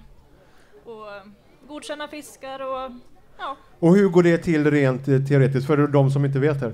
Ja de eh, rapporterar ju in via Fishy där. Fishy-appen. Ja. Fina grejer. Precis. Det är bra skit. Eh, och eh, då tittar vi på bilden och att allting stämmer och att eh, den är, den är ja, lika lång som de skriver. Och inga händer som ligger fel eller någonting. Nej men precis. Det är nya regler, man får inte sträcka gäddor och såna här saker. som- Nej, det ska ju inte vara några några händer på fel ställen och Och dra i de, fisken. de och sköter så. sig. Ja, men det tycker Ja. jag. Har Ja. ni fått neka någon fisk nu? Ehm, en, fast det var ett misstag. Eh, Ni att, eh, trycka på nej. Nej, Eh, det var, det var fel bild som kom in och sen skickades rätt bild in. Ja, Ja. okej. Så det, än så länge ser det bra ut. Ja, vad härligt. Ja, Vad roligt. Kan du inte berätta lite mer nu? Vem är Linnea Lund? ja. Vem är Linnea Lund? Berätta. Eh, ja sammanfattat så är, det, är jag en fiskande sjuksköterska. Jag eh, jobbar som sjuksköterska och jag fiskar på fritiden. Vad roligt. Ja. Gjort, All- gjort i hela all- ditt liv eller kom, när kom fiskintresset? Ja, jag har väl fiskat sedan jag var liten tillsammans med min pappa. Men eh, det har blivit mer och mer de senaste åren. Du har stora fiskar också på din, ditt Ja. CV. Det är Ja, stora abborrar bland annat. Du får berätta lite. ja, ehm, ja första, alltså det som sporrade intresset lite det var ju att upptäcka nya arter och upptäcka vad som finns i svenska vatten. Så eh, nu för ett par veckor sedan så fick jag artnummer 59 i svenskt vatten. 1859 i svenskt vatten. Eh, Art nummer 59. Artnummer Art nummer 59. Ja. Ja. Ja, Det är inte dåligt. det är Nej, jättebra. på krok och spö, så det är allt från att man har kroknummer, alltså storlek 33, alltså 30. Mhm. Det är Ja. ju minimalt. Ja. Eh, till att man har krok, eh, alltså 8 nollor. För, för er som inte vet så är, är det alltså storleken på kroken. Och hur stor, Ja. om du skulle visa, är en 30? Alltså det är minimalt. Alltså det är, man måste ha en pincett för att trä på en, eh, en liten maskbit. Eller Ja. Och vad fångar du på den? Eh, Det kan vara från eh, nålfiskar, att man hovar upp med litet myggnät, någon liten pungräka och trär på. Eller att man, man har en liten räkbit och försöker få upp en liten ja, stubb eller något sånt som finns Ja. i saltvatten. Eh, eller en elritsa. Ja. Ja. små. Mm. Eh, Fantastiskt. sen så de stora krokarna, då får man ju, ja men, det är gädda, gös, eh, stora fiskar, ja men, hårkärring, eh, hajarter, olika långor och sånt där. Vad är den största fisken du har fångat? I svenskt vatten så är det långan som jag fick eh, för någon vecka sedan. Ja, ja den såg jag. Eh, den var 9,56 kilo Ja. och eh, 113 centimeter. Och hur bred är den bredaste fisken du har fångat? Nu jävlas han. Ja, jag ska. Det var sån Kurt Olsson-grej. Kommer ni ihåg det när han sa det med, med Patrik Sjöberg när han hoppade höjdhopp? Hur brett har du hoppat? Förlåt mig, det var inte minne. Jag skulle väl tro att det, det är någon av plattfiskarna som Ja. är bredast. Ja. Ja. Vad härligt. Mm. Eh, ska du ställa upp nästa år i eh, SM i, i Elritsla? Om det görs en tävling så är jag på.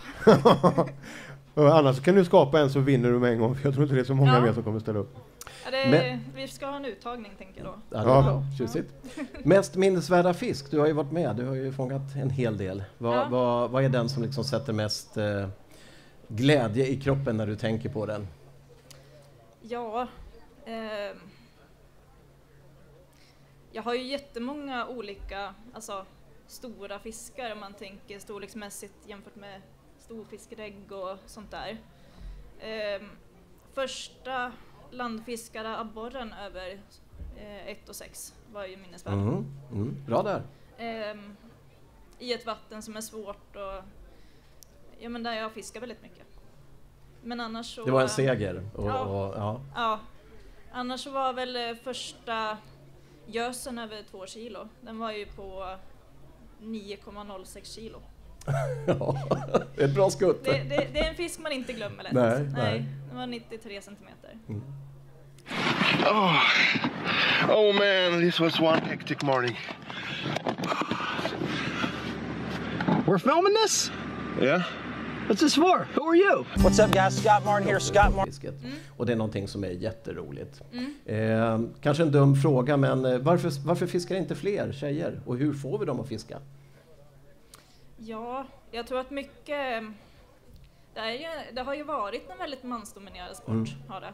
Eh, och eh, normen är ju att det är killen som åker ut och fiskar och, ja, i, i familjen. Eh, jag tror att eh, intresset skapas nog när man är ung, Ja, mycket. Eh, och även att man erbjuder att ta med sig ut. Och ja, en sån här ungdomsverksamhet som de har här, Ja. det är ju perfekt. Ulricehamn de har en väldigt omfattande Ja. ungdomsverksamhet. De är verkligen förebilder. Mm. Men även att man eh, ja, men inspirerar ett intresse Mm. och visar att okej, det är jättemånga men kvinnor och eh, små, små tjejer som hör av sig och ber om tips. Ja, och, kul. Ja, Ja. just att det... Jag tror att steget att fråga en annan kvinna om tips och råd är inte lika stort mot att fråga en, ja, men, en stor kändisprofil som är man. Som nästan aldrig har tid. Nej, nej. men precis. Nej, ja. Ja, intressant. Ja. Ja, nej, men det är jätteroligt. Ni, ni, är ju, ni, blir, ni blir fler och fler Ja. med Ja. alla. Och, Mm. och eh, jag menar, det är du som sagt, eh, Ja. Evelina Henriksen. Mm. eh, Det är ett gäng duktiga tjejer som, som både Ja. syns i media, i produktioner, syns på sociala medier med stora fiskar. Mm. Små fiskar också, de Ja. får vi inte glömma. Ja. Där hade vi ju en Facebookgrupp en gång Ja. i tiden som hette Små fiskars Små fiskars rätt till publicitet. Ja, precis. Eh, Den startade jag. Det blev ganska många medlemmar här till slut faktiskt. ja, Det var lite roligt. Ja. vi får skaka liv i den ordentligt. Ja, får göra det. Ja, Mm. ja buskul. Ja, men det, och just, eh, jag bor uppe i Gävle så att eh, just i det området så är vi väldigt många duktiga tjejer Mm. som fiskar. Och eh, men Cecilia Grönberg Ja, och och Evelina bor ju där. Och, ja. Är det någonting, eh, är det någonting som är vanligare där uppe än Är det något det i luften? Ja, är det något i vattnet? Ja, ja. Ehm, ja, Gävle Energi. Nej. Ja, men är, kan det, är, finns det fiskevårdsföreningar som är duktigare på att, att plocka upp eller att bjuda in eller vad, vad tror du är eh, saken? Vad, vad gör att eh, ni kommer fram där uppifrån? Liksom? Eh, ja, vi har diskuterat det lite och vi har ju inte riktigt någon eh, alltså, fiskevårdsförening som eh, driver en ungdomsverksamhet eller så på samma sätt. Nej? Ehm, Fjällorna finns ju i närheten Ja. med Sivan Ja. i Älvkarleby. Eh, sen så har vi ju, eh, jag tror att det är mera att man, eh, jag menar Evelina och Cecilia var ju väldigt tidiga. Ja, Absolut. Det var de. Eh, och, Förebilder. och de har ju drivit steget att man, man, det är tillåtet att synas. Mm. Det är okej att synas som tjej. Så Verkligen. jag tror att det är, det är mer att det har inspirerat, säkert. Ja, rätt häftigt tycker jag. Ja. Absolut. Ni gör ett bra jobb. Ni gör ett Ja. otroligt bra jobb. Ni är otroligt bra ambassadörer för den här grymt roliga saken vi håller på med. Ja, Mm. vi vet ju inte vad det är. Ja, det vi är har bara- ingen aning om vad vi håller Sport på vet med. jag, tycker jag inte det, men Nej. Danskarna säger ju lustfiskeri. Ja, Ja. jag tycker det är ett Lusten väldigt fint fisk. det. Lustfiskeri. Ja, ja. Det är ett grymt ord alltså. Mm. Och just, eh, ja men jag tror att det krävs att man är engagerad. Ja. Och, eh, just den här kämpaglöden för fisket är viktigt. Coolt. Ja, Vad roligt. ja det är kul. Linnea, Mm. tack som tusan för att du ville komma upp och prata lite med oss. Ja, Jag blev jätteglad. Och vill ni prata mer med Linnea så finns hon här på området. Ryck tag i henne, fråga lite frågor, fråga hur ni ska göra för att komma igång med ert fiske eller någonting. För hon är en utav de absolut duktigaste sportfiskarna vi har nu på, eh, på scenen tycker jag. Yes. Tack så jättemycket Linnea. Tack mycket. Linnea. Ja. Tack. Ge henne en applåd.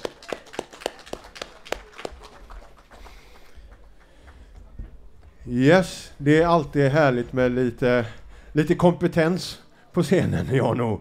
Eller hur? Eller hur?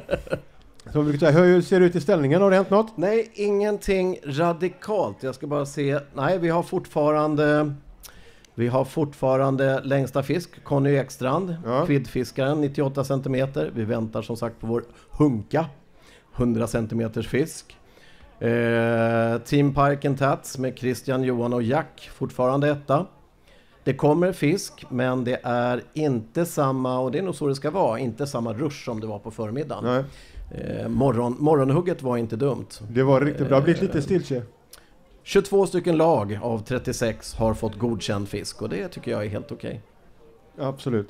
Och medan eh, ni ändå är här på området, på plats, så ska ni passa på att gå och ta lite lotter här nere. Eh, ni kan eh, köpa lotter, det är blåvita lotter. 20 kronor styck, alternativt 6 stycken för 100. Eh, där kan ni vinna spö och rulle, värde 3000 kronor. Och det kommer lottas ut på scen här klockan 13.30. Rosa-vit lott. Eh, väska, värde 3000 kronor, det är den som vi har lottat ut här. Ni har gul lott för 10 kronor eh, och det är lösa vinster där borta. Och rosa, samma där, lösa vinster där nere, 10 kronor. Passa på och ta lite lotter, pengarna går till, eh, till fiskeföreningen här i Ulricehamn. Mycket bra. Det var väl bra. Eh, nu ska vi alldeles strax få eh, lite eh, gäster på scen här igen. Och då ska vi prata med ett företag som heter CLC, eller Hultafors. Som kanske hör att vi pratar om dem och känner för att bege sig till scen. Eller hur Jano? Hultafors, Hultafors! Här har vi någon. glöm inte väskorna. Glöm inte en väska. Det gjorde han. Ta den lille med. Den lille en. Den lille. Den lille. Ja, det är mycket som händer här i Ulricehamn idag. Så har ni inte vägarna förbi, så ta vägarna förbi. För det är otroligt mycket folk. Det är ruskigt härliga eh, små tält. Och det är båtar, det är korv, det är hamburgare. Det är säkerhetslås, det är båtar, det är väskor. Det är precis allting. Vad ni än vill ha finns här. Här har vi en trevlig herre. Och nu ställer jag dig i mitten här. Stand yourself in the mitt. Vi har ju även internationella tittare och då är det väldigt viktigt att man ta talar flera språk samtidigt. Vilket språk vill du att jag ska prata? Ja, jag tänkte att vi ska köra på spanska just den här delen. Está bien. Eh. Jag hablo español. Så, un poquito. Yes, här har vi en herre. Vad heter du? Kaj Esen heter jag, jobbar på ett företag som heter Hultafors Group. Eh, vi gör ju normalt sett eh, grejer till hantverkare, men vi förvärvade ett bolag i USA för några år sedan och eh, de, som, eh, de produkter de gör det är egentligen arbetsväskor för hantverkare. Men Ha lite närmare. det är riktiga produktnördar så att de, och också fiskeintresserade så, så de bestämde sig för att göra också världens bästa fiskeväska. Så det, det, det är den vi ser här. Det är den ni ser här och det är den här som vi lottar ut på nätet. Så även om ni är här så kan ni alltså gå in på nätet och vara med och vinna där. Eh, berätta får- lite mer om väskan. Nästan säga också att ni har varit väldigt generösa därför att de som tävlar kommer, ni kommer ett, ett antal av dem som kommer högt upp kommer också få en väska. Nu minns jag inte i huvudet hur många det var men... Ja, eh, de första 15 får en varsin väska med sig. Ja, Sen fantastiskt. har vi fem som vi lottar ut här idag och Japp. en lottas ut i lotteriståndet där borta också. Ja. Så ni kan alltså vinna en sån här väska i lotteriståndet. Där. Väskan är värd 3000 kronor. Lotten kostar 20 spänn. Löp och köp! Hur kommer det sig att ett väskföretag för hantverkare och annat plötsligt ger sig på att göra sportfiskeväskor? Nej, men det är, grundarna av bolaget är hängivna fiskare och då var det många i omgivningen som sa men ni som gör så himla bra arbetsväskor, varför kan ni inte göra en riktigt bra fiskeväska också? Så att det finns jättemånga modeller. Vi har valt att ta in två modeller till Sverige nu till att börja med. Det är de här som säljer bäst borta i USA. Det är alltså en eh, ryggsäck, eh, Kan du hålla micken åt mig? Jag kan hålla väskan annars om du vill. Ja, det kan du göra. Du kanske Ja. kan den där väskan också. Men vi har alltså en, en ryggsäck så den är lätt att ta med sig. Vi har ett inbyggt regnskydd som sitter fast. Eh, man stoppar ner det i en liten ficka här sen när man är, eh, inte behöver det. Vi har en hardcover som är för glasögonen. Man har lite olika fack runt omkring och sen så har vi eh, det följer med ett antal lådor för att lägga sina drag i.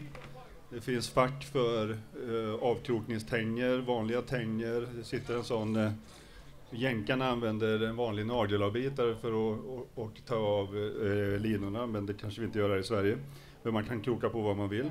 Den har inbyggd belysning och den har en, också både en vit belysning i två steg och en grön belysning. Är det någon som kan gissa? Ja, ni kanske har varit förbi lite, men eh, den, den gröna belysningen är till för när man eh, till exempel man eh, skymningsfiskar och det är lite svårt att se när man ska sätta dit en ny tafs eller någonting.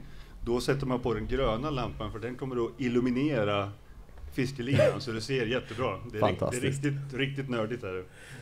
Jättefin kvalitet som sagt var så att eh, vi har valt att introducera de här två modellerna. Det finns en lillebror också som man kan säga är en juniorväska. Eh, har alla funktioner som den stora väskan, bara lite mindre. Och den hade även grönt ljus. Den har även grönt ljus.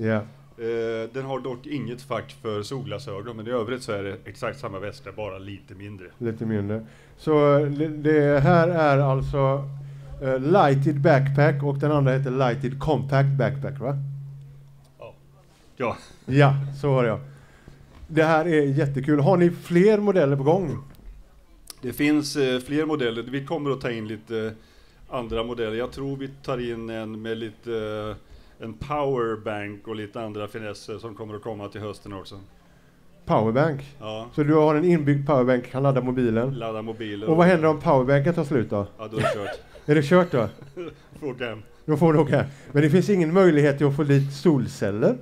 Jo, det finns en sån variant också som laddar sig själv lite grann. Det gör det? Ja. Shit vad coolt.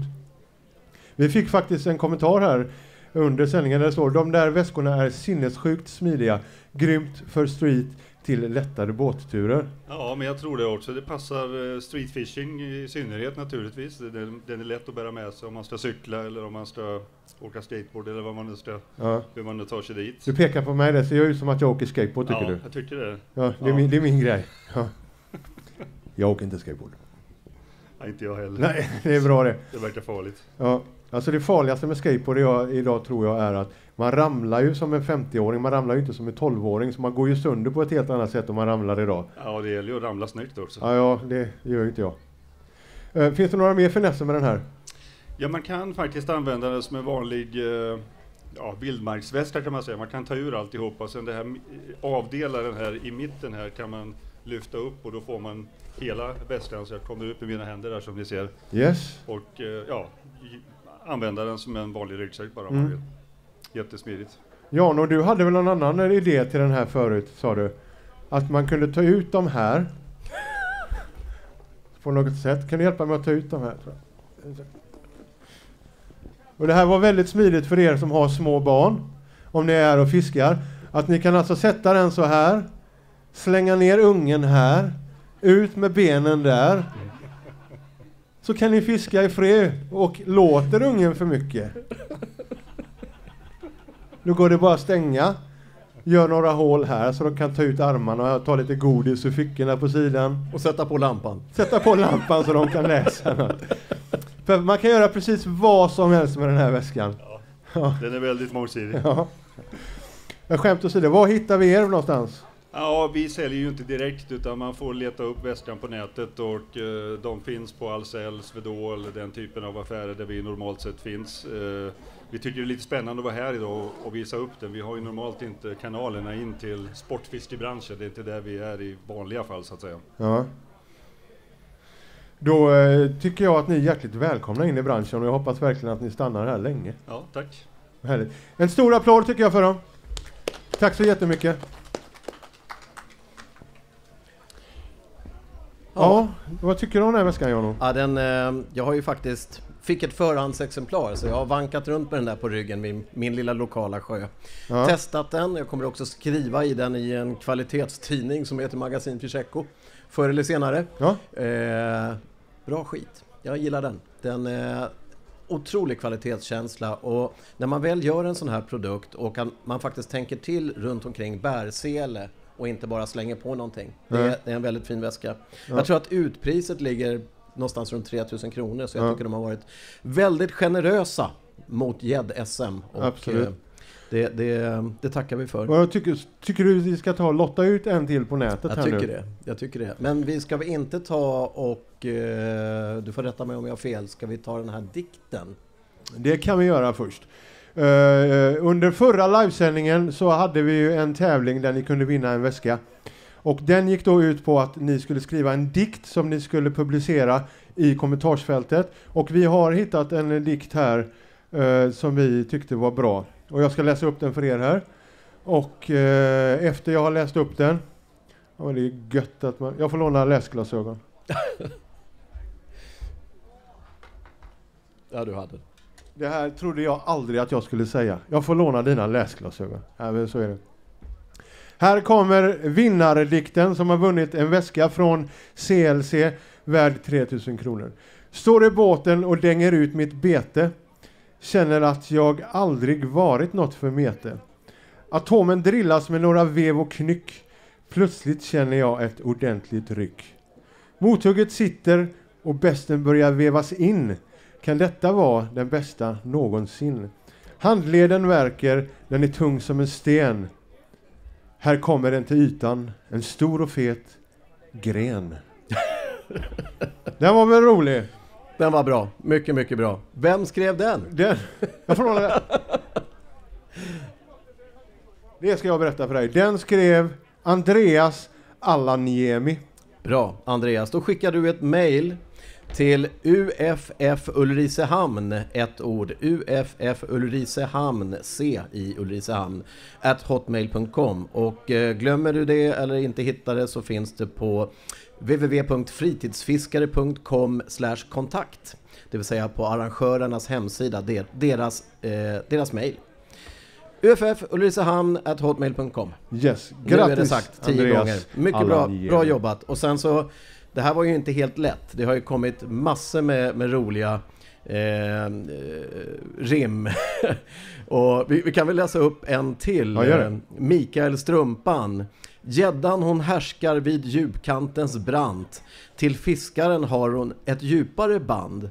I årtal det dansat denna livliga kamp. Till gäddan han säger med blodig hand. Vi ses snart igen min vackra gigant. Ja. Bra där Mikael Strumpan. Ja, bra där Mikael Strumpan. Den var riktigt bra faktiskt. Ja, kreativitet, det, det, det är fantastiskt. Det gillas. Folk är inte bara bra på att fiska, de är bra på, på dikter och rimma. Absolut. Mm. Yes, och då har vi kommit till, eh, till nästa tävling som eh, för er då som är på, på eh, nätet här. Online. Online! Och vad säger vi Jano då? Är det väska igen va? Vi kör en väska till. Vi har ju faktiskt fem och det här blir nummer... Tre. Jo. En, två, tre, precis. Nej, det Två. var ju nummer två. Nummer två kommer här. Ja. Ja. Ja, vi har gått om väskor. Ja. Eh, ja, vi kör väl den vi sa. Eh, nu får ni vara med här. För den här är Hur- lite klurig. Vi, vi vill ha två Vi vill svar. ha två svar i en mening. två svar i en mening. Hur tung och hur lång var det svenska rekordet på abborre? Snabbt på Google om ni inte kan det i huvudet. Yes. Och så. Så. skriver ni det i kommentarsfältet och glöm inte gilla och dela filmen samtidigt. Och glöm inte prenumerera på Ficheco. Exakt! Så ställ frågan igen. Hur tung och hur lång är det svenska rekordet på abborre? Hur tung och lång är den fisken, den abborren? Eh, det rekordet firade 30-årsjubileum tror jag 2015. Det är svårslaget. Det är det. Och det är ju taget i Västra Götaland vilket är väldigt, väldigt roligt. Jag vill nog påstå att eh, där satt den. Det gick fort. Kim Salström, 150 gram och 51 centimeter. Den Nej, kom det alltså är fel. på en gång. Var det fel? Ja. Då ska vi se. Eh, nej, det är nog rätt. Okej. Du jävlas med mig. Ja. Okej, det, det var den snabbaste tävlingen. Det var den snabbaste tävlingen och eh, det är väl lika bra att ta det på en gång. Kim Sahlström, bra jobbat. Likadant där. 3150 gram, 51 centimeter och vi kan väl lägga till att killen som fångar den här heter Gary Wickens och den togs i ett litet vatten som heter Hellersmyr 1985. Hellersmyr strax utanför Lysekil. Och eh, det roliga är att det fångas inte speciellt mycket abborrar där nu. Så det var någonting som hände. Jag tror han drog upp allihop på samma spö. Ja, det hittades till och med en död fisk i samma vatten på 3500 gram. Mm. Helt fantastiskt. Allt Absolut. enligt, allt enligt Sportfiskarnas ehm, rapportering. Rapportera. Och den fisk och, och en i det närmast osannolik fisk på 67 centimeter från ett nätprovfiske. Allt inom loppet av ett fåtal år. Mm. Ja, det fanns eh, rejäla eh, abborrar i den pölen. Så någonting hände de åren i Lysekil. Ja. Grattis igen då, Kim Sahlström. Likadant där, du tar kontakt med, med Ulricehamns fritidsfiskare.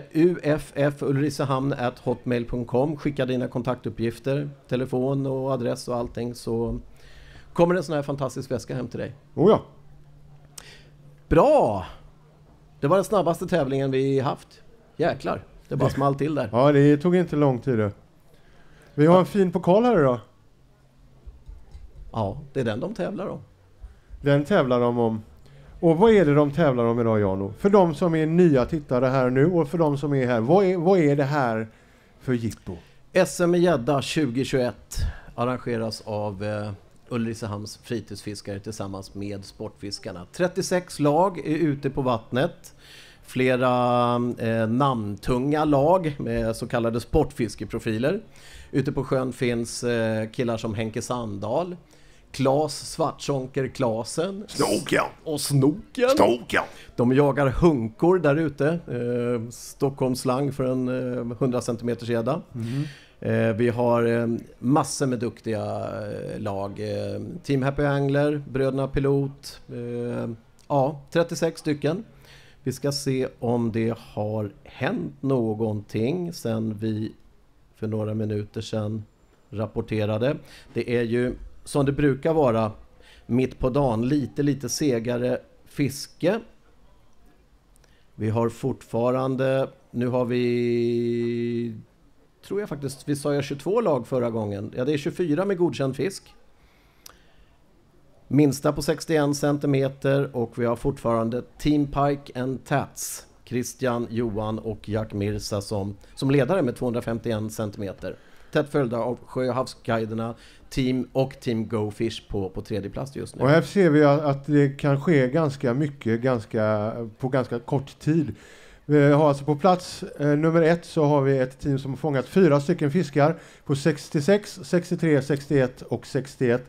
Medan eh, lag två, det skiljer bara 5 centimeter och de har fångat tre fisk. Mm. Så det är ju inte antalet Nej, nej. Eh, som gäller. Det är fruktansvärt öppet får man säga. det är otroligt öppet. De har alltså fångat då en 96, en 77 och en 73. Det är bra fiskat. Det är bra fiskat. Mycket bra fiskat. Uh, Jano, Yes! min kära vän och vapenbroder. Berätta för mig, om du hade fiskat i den här sjön idag, hur hade du då gjort? Jag hade lyssnat på de lokala killarna som eh, flera gånger har sagt att när vi fiskar grunt, då fiskar vi fem meter eller djupare. Ja, Jag är ju eh, van vid Mälarfisket och där letar vi ju fortfarande lite sjunket höstgräs, en och en halv till tre meter. Det Mm. tycker vi är djupt. Mm. Eh, jag, jag skulle åkt ut och jag skulle använt mitt ekolod och jag hade letat betesfisk och sen så hade jag fiskat runt de här, de här stimmen med betesfisk. Mm. Pelagiskt eller ganska nära botten. Lite grann beroende. Jag tycker ändå det kommer upp en hel del fisk så att den är ju inte inaktiv gäddan Nej. utan jag hade använt eh, en eh, mellanstor jigg, inte den största om jag inte hade varit väldigt säker på mitt vatten men eh, någonting i stil med en Pig Junior eller något sånt där. ja. Hade blyat ner den med 15, 17, 18 gram. Och så hade jag, vad är det de säger killarna på de här produktionerna? Jag hade grindat. Grindat! Så det kommer upp tank. amerikaniserat. Jag, Ja. hade, jag hade kämpat, jag hade pannbensfiskat Ja. och eh, verkligen satsat på det. Har vi någon här som är lokal och eh, brukar fiska i sjön? Upp med en hand så vi kan få ställa lite frågor. Inga här som brukar fiska i sjön, ni är bara utbördingar. Alltihop.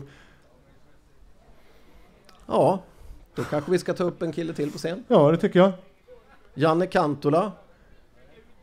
Har vi Janne Kantola, vi ger honom en stor applåd. Mr Fil- Fishfulness. Och eh, medan vi eh, tar upp honom här så ska vi även se hur det går för våra eh, reportrar ute på eh, sjön. Ja, Jag ser att här har vi eh, Emil. De är ju faktiskt tre stycken som är ute. Det är ju en kille som heter Jonny också. Jonny kör båten och han blev ganska ledsen för att vi inte nämnde honom. Så nu har vi nämnt Jonny också. Hej Jonny, tack för att du kör omkring på pojkarna. Då ska vi se här hur det ser ut ute i båten. Hej Janne Kantal, du ska få en mikrofon här utav mig alldeles strax. Hallå! Tjena morsning. Oj, nu ska jag ta bort den, för nu satte jag den rakt framför dig. Om du kommer att ställa dig här istället. Ja, jajamän. Eh, Janne Kantola, är du från området? ja, det kan man väl säga att jag är inte riktigt härifrån, men över bergen där borta, där kommer jag ifrån. Borås. Ja, Borås, även känd som Över bergen. ja precis. Ja. Det spelar ingen roll vart du kommer ifrån. Var bor du över bergen så vet man att här bor de i en liten håla och där ligger Borås. Exakt. Vad pysslar du med? Ja, just nu så eh, hjälper jag till här med föreningens fantastiska arrangemang. Eh, mässan helt enkelt. Ja. Och eh, som en del i Gädd-SM. Det är därför jag är här och hjälper till idag. Med våra fantastiska eldsjälar som har sliter, Mattias och Andreas och alla funktionärer från klubben och utställarna. ja. Helt underbart. Eh, sen håller du på och eh, poddar också. Ja, det gör jag. Och vad heter den podden? Ja, jag har ju två egentligen då. Det ena är ju bakom flötet, det är väl samlingsnamnet för det och där har vi ett antal avsnitt som eh, bäst före-datumet kanske har gått ut på. Är det någonting som du inte kan stå för längre menar du, Jo eller? då, jo absolut, det kan jag verkligen stå för. Det är gött snack mellan mig och Henke helt enkelt, och Ja. min eh, barndomskompis. Men så har vi dragit igång Fishfulness nu då, som Ja. den nya delen i det hela. Och, och det tycker jag är roligt, för jag såg ju ditt avsnitt med Martin Falklind. Ja, Och det var trevligt. Jag såg även avsnittet med Claes. Det var jättetrevligt. Vart hittar de eh, dina poddar om vi tittar på det?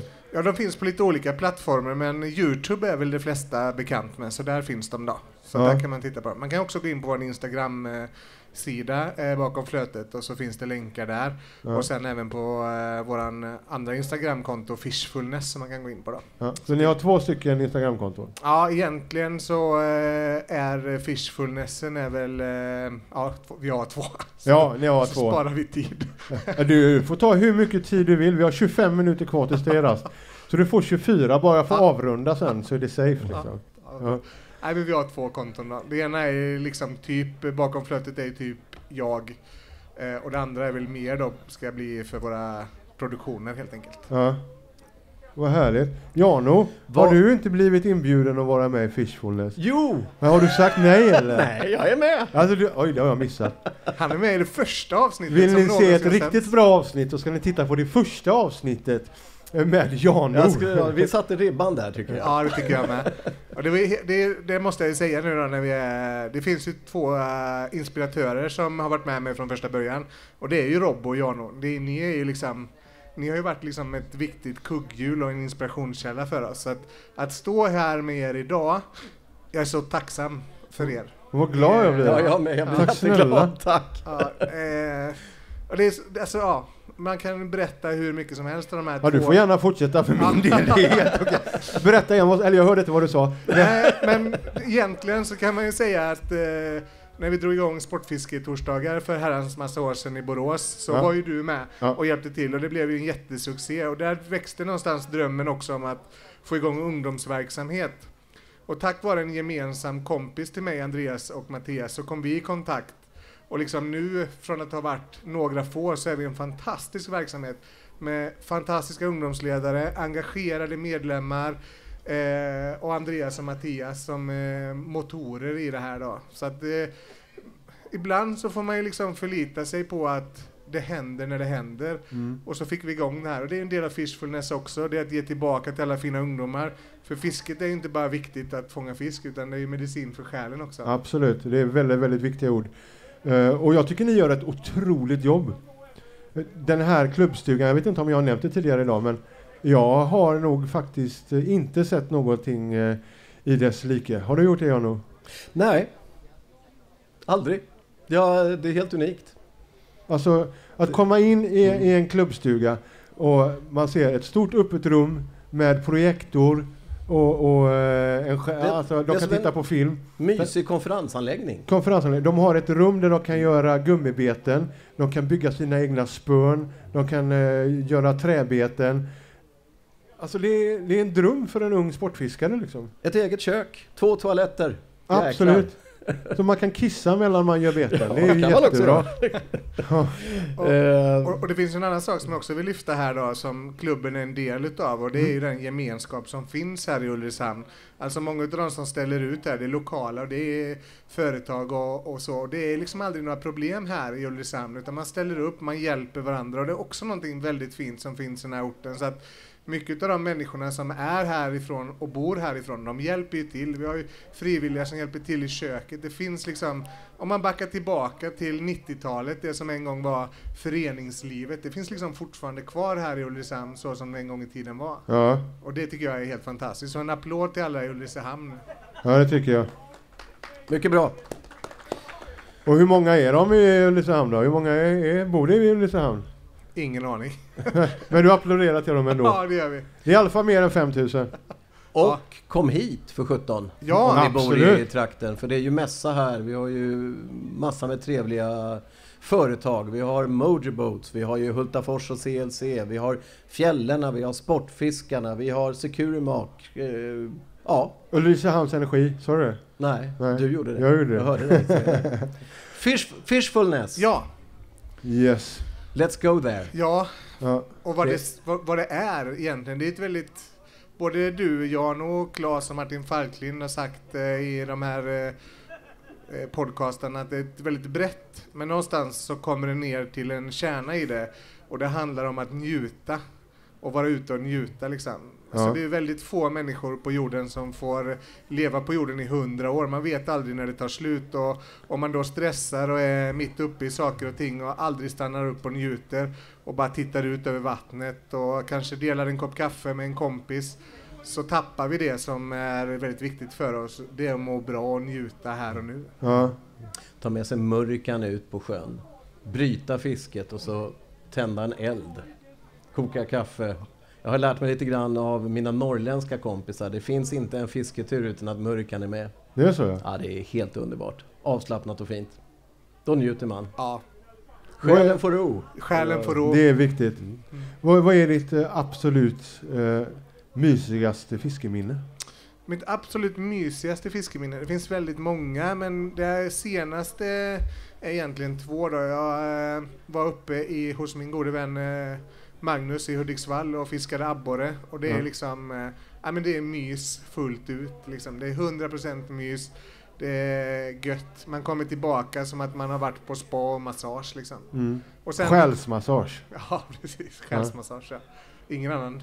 Nej, nej ja, det, det får stå för er. Era massager i båten, det är ingenting som jag lägger mig i. Men det är skönt att du kommer tillbaka och har själen masserad i alla fall. Ja, Vi lämnar det där Ja, tycker ja, jag. ja, tycker jag Ja, tack snälla. Men, eh, och eh, sen eh, också en viktig del i det, det är att fiska med andra. Ja. Eh, och där har jag ett mysigt minne då. Min kompis som jag fiskar med, som också är en del av Fishfulness, eh, Jonathan Markert, han eh, tog sin första abborre på över kilot tillsammans. Så det var total glädje och eufori. Så det var väl de två mysigaste senaste helt enkelt. Mm. Sen finns det massa tillbaka men det är inget historieprogram. Nej, det är inte det. Jano då? Vad är ditt absolut mysigaste? Ja, jag satte ju igång och funderade direkt. Ja. Ja, och samma sak där. Det är ju jättemånga såna här mys. Men, men det har ju varit några av de här gångerna när jag har fiskat med mina äldsta vänner och vi... Det har varit bra. Vi, vi, har, vi har slutat fiska. Ja. Vi, vi, vi har gått till land, vi har gjort eld, vi har, vi har eh, Eh, kört en pyttipanna och lite ägg på, på en häll eller på mörrikan. Eh, fortsatt fiska, skojat, tävlat lite grann, lugnt och fint.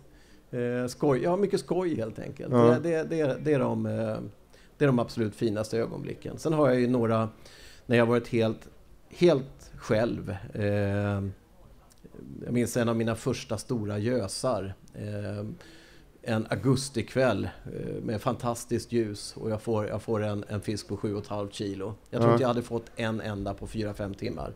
Jag, jag, jag tog en bild på den där fisken, jag satte mig eh, i båten. Jag tror till och med jag, jag var så nöjd så jag somnade en liten stund. Ja, magiskt ögonblick eh, som jag levde på jättelänge. Ja. Jag, jag höll på att säga att jag tappade lusten att fiska, men det gjorde jag inte alls. Jag, jag var bara färdigfiskad för sekunden. För lusten visste jag skulle komma tillbaka, men jag var så nöjd. Ja. En fisk, ett underbart vackert ögonblick och jag var helt själv och det gjorde ingenting. Nej. La du upp den på Instagram då? Det fanns inte Instagram.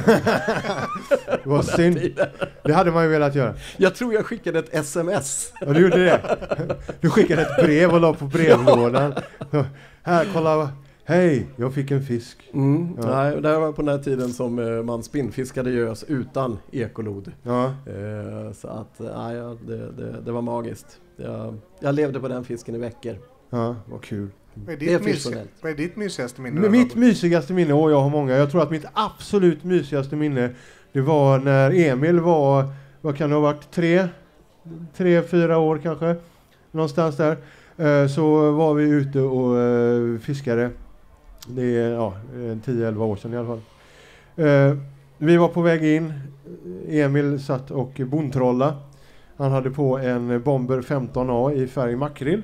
Och vi åker förbi utanför en liten vass och han får på sin första gädda någonsin i eh, hela sitt liv. Och det var eh, fruktansvärt kul. Vi ställde kameran där fram och tog en jätterolig bild där man eh, fortfarande idag inte kan se vem som är lyckligast, om det är jag eller om det är han. En helt otrolig bild som sitter på väggen hemma och det var en stund som jag ofta tänker tillbaka till, som värmer mig gott i själen. Vad härligt. Vad Ja. fint. Vilka fina berättelser. Absolut. Och Däremot så, eh, du tappade ju i någonting där Emil, det var tången, vad var det? Ja. Yes. Han vågade inte ta i fisken på den tiden och det var inte konstigt när han var så liten. Eh, Så han fick eh, använda en lipgrip som han hade fått av sin morfar med inbyggd våg.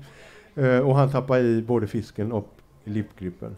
Och den fisken simmar än idag med en lipgrip i munnen. Men så kan det gå, vi har alla varit där. Grym fiskbrysch. Så var det. Janne, Ja. ett stort tack för att du ville komma upp och prata med oss på scen här. Eh, återigen, följ, eh, följ dem på, på Insta, på vilka då? Bakom flötet podcast och Fishfulness finns vi på. Gå in där och kolla och gå och lyssna. Gå och lyssna på första avsnittet som jag tycker är det absolut bästa och det är det jag har lyssnat på mest. Med Jano. Och tusen tack att jag fick komma och sluta aldrig vara ni. Tack! Tack så mycket, Vi snälla önskar människa. detsamma. Yes, en Yes, applåd. bra Janne! Denna gigant, denna gigant. Denna milda gigant. Du, jag har Ja. fått en fråga här på nätet. Bra! Kan man hyra Jano till julen, prata fiske framför en öppen brasa, mysfarbror? Går det att lösa? Kan vi redan nu eh, starta en auktion där man kan hyra dig på julafton? Ja, och det vore någonting det. Jag ska ju hänga med mina barnbarn. Jag har tre och ett till på gång. Ja, men kan de komma till dig då? ja, så nu kör vi en tävling här. Vill ni komma hem och fira jul hos Jano? med Janos barnbarn. med Janos barnbarn så får ni jättegärna göra det. Vi börjar auktionen på nätet nu. 1000 kronor är utropspris. Ja, jag tar det. Jag tar det. Såld! Ja, nej, men det, det var jäkla smickrande. Det, nej, den, den affärsidén är inte utvecklad. Eh, jag, ska Vi- fundera, jag ska fundera på det om man kan Vi kan hyra mig fundera på jul. lite till. Eh, möjligtvis annan dagen eller något sånt. Annan Eh, ja. Jag var ju faktiskt utlottad eh, en gång via ABU. eh, Så jag åkte och delade ut julklappar på, på morgonen på, på julafton. Eh, Det här var 2014 eller 2015 någon gång. Det var Oj. jättemysigt. De, Det såldes ju på Tradera då. Så eh, åkte jag dit och eh, kom in och tog en kopp kaffe och eh, agerade tomte och lämnade ut presenter. Det var faktiskt jättekul. Det förstår jag. Nu ser vi att Emil är ute här och kör båten igen. Eller det är Jonny som kör båten, men de är ute och åker där. De åker fort nu, så jag tar bort dem där så ser vi om de kommer fram och hittar några sportfiskare. Då kan vi slänga på dem igen. Vad tror du om det? Det blir perfekt. Absolut. Det är, eh, det är hårt där ute just nu. Eh, med risk för att vara tjatig. Vi, vi har 25 stycken lag med godkänd fisk. Sist ut är, eh, tror jag, nej det är inte alls det, det kan man inte se här. Men 25 stycken lag och det har inte hänt så mycket i toppen. Team Parksen, Team Tats, Christian, Johan och Jack. Fortfarande etta, leder med 251 centimeter. Tätt följda av Sjö och havsguiderna som två. Det är lag nummer två. Och som du så klokt sa för en stund sedan, de har ju faktiskt bara tre fiskar medan Team Pikes and Tats har fyra av fem möjliga. Eh, tvåa Team Go Fish. Förlåt mig, trea Team Go Fish. Fyra Happy Angler med Per Karlsson och Josef och Joel Pilot. Bröderna Pilot. Bröderna Pilot. Eh, underifrån, Clickbait Fishing Crew kommer starkt. 189 cm på tre fiskar. Femma. Och sen så följer ett antal lag. På åttonde plats hittar vi Flanell. Eh, Team Flanell som faktiskt är eh, förhandstippade som segrare i, eh, via den här pollen som vi har kört på Fischeco. De fick, eh, de fick flest röster. Ja, så ligger det till just nu och fortfarande bästa fisk är eh, 98 cm, kviddfiskaren. 98 centimeter. Och vi väntar ju på Hunkan och Hunkan, den första 100 centimetern som kommer upp idag, vinner vad då för någonting? En värmeväst. En batteridriven värmeväst från Wiggler. Eh, den här är riktigt bra. Vi har en sån här själv hemma och jag använder den jättemycket. Ruskigt bra eh, batteridriven väst. Kolla på den. Jag måste bara svara på några saker här som eh, kommer in här. Det är kaos i eh, här. Tommy Somela och Skinnet, David Skinnet Axelsson sitter och eh, pratar om mig. Eh, för eh, David säger så här att hans eh, roligaste, ska se vad skrev han? Hans roligaste fiskeminne var när han fiskade med mig. Jag kan ju berätta en liten sak om det. Jag blev nedbjuden till, till eh, Nybro för att åka ut och fiska med eh, Skinnet Axelsson. Vi skulle fiska gös. Detta var under den tiden när jag gjorde nytt fiske på nätet. Yes. Och eh, då kommer vi ut i en sjö som är jättestenig och eh, det är liksom jättefarlig sjö. Och han säger, med, han har en Quintrex 370, han har ett lod som han har satt i och han säger det ligger alltid fisk när vi kommer hit bort Eh, och de står alltid på samma ställe och jag ser dem alltid när jag åker förbi. Och det visar sig att han har haft sitt ekolod i demomode, demomode varje gång. Så när vi åker där i den här sjön, man bara ser det bara sticker upp stora stenar och David han kör i 300 knop. Och då har han haft på demo-mode och han bara säger att det är alltid fisk på exakt samma ställe. Och det är för att han sätter på båten på samma gång och kör. Och på samma ställe så kommer det här upp liksom. Så det var totalt livsfarligt. Och sen så uh, tatuerade jag mig samtidigt. eh, för han var ju tatuerare då, så han tatuerade mig på armen samtidigt. Där. Eh, så de håller på att bråka med varandra här. Och sen så säger då Tommy Somela som säger att han väntar på att jag ska komma och fiska med han. Och då säger David att då får han smöra med mig. Och så håller de på så här fram och tillbaka. Och så avslutar de med att jag dissar deras grejer. Så nu har jag inte dissat dem längre utan okej, nu har jag nämnt er. Så, nu är det klart. Bam! Mycket bra. Hoppas de blir sams nu killarna. Ja. Ja. Ja, vi ska ha fler tävlingar, vi ska göra lite sånt. Tiden börjar eh, gå mot sitt slut för Absolut. den här sändningen. Ja, vi kommer komma tillbaka med en liten kort eh, sändning igen klockan 13.30. Just det. Då är det eh, prisutdelning för eh, fisketävlingen för ungdomar. Så den kommer vi köra här klockan 13.30.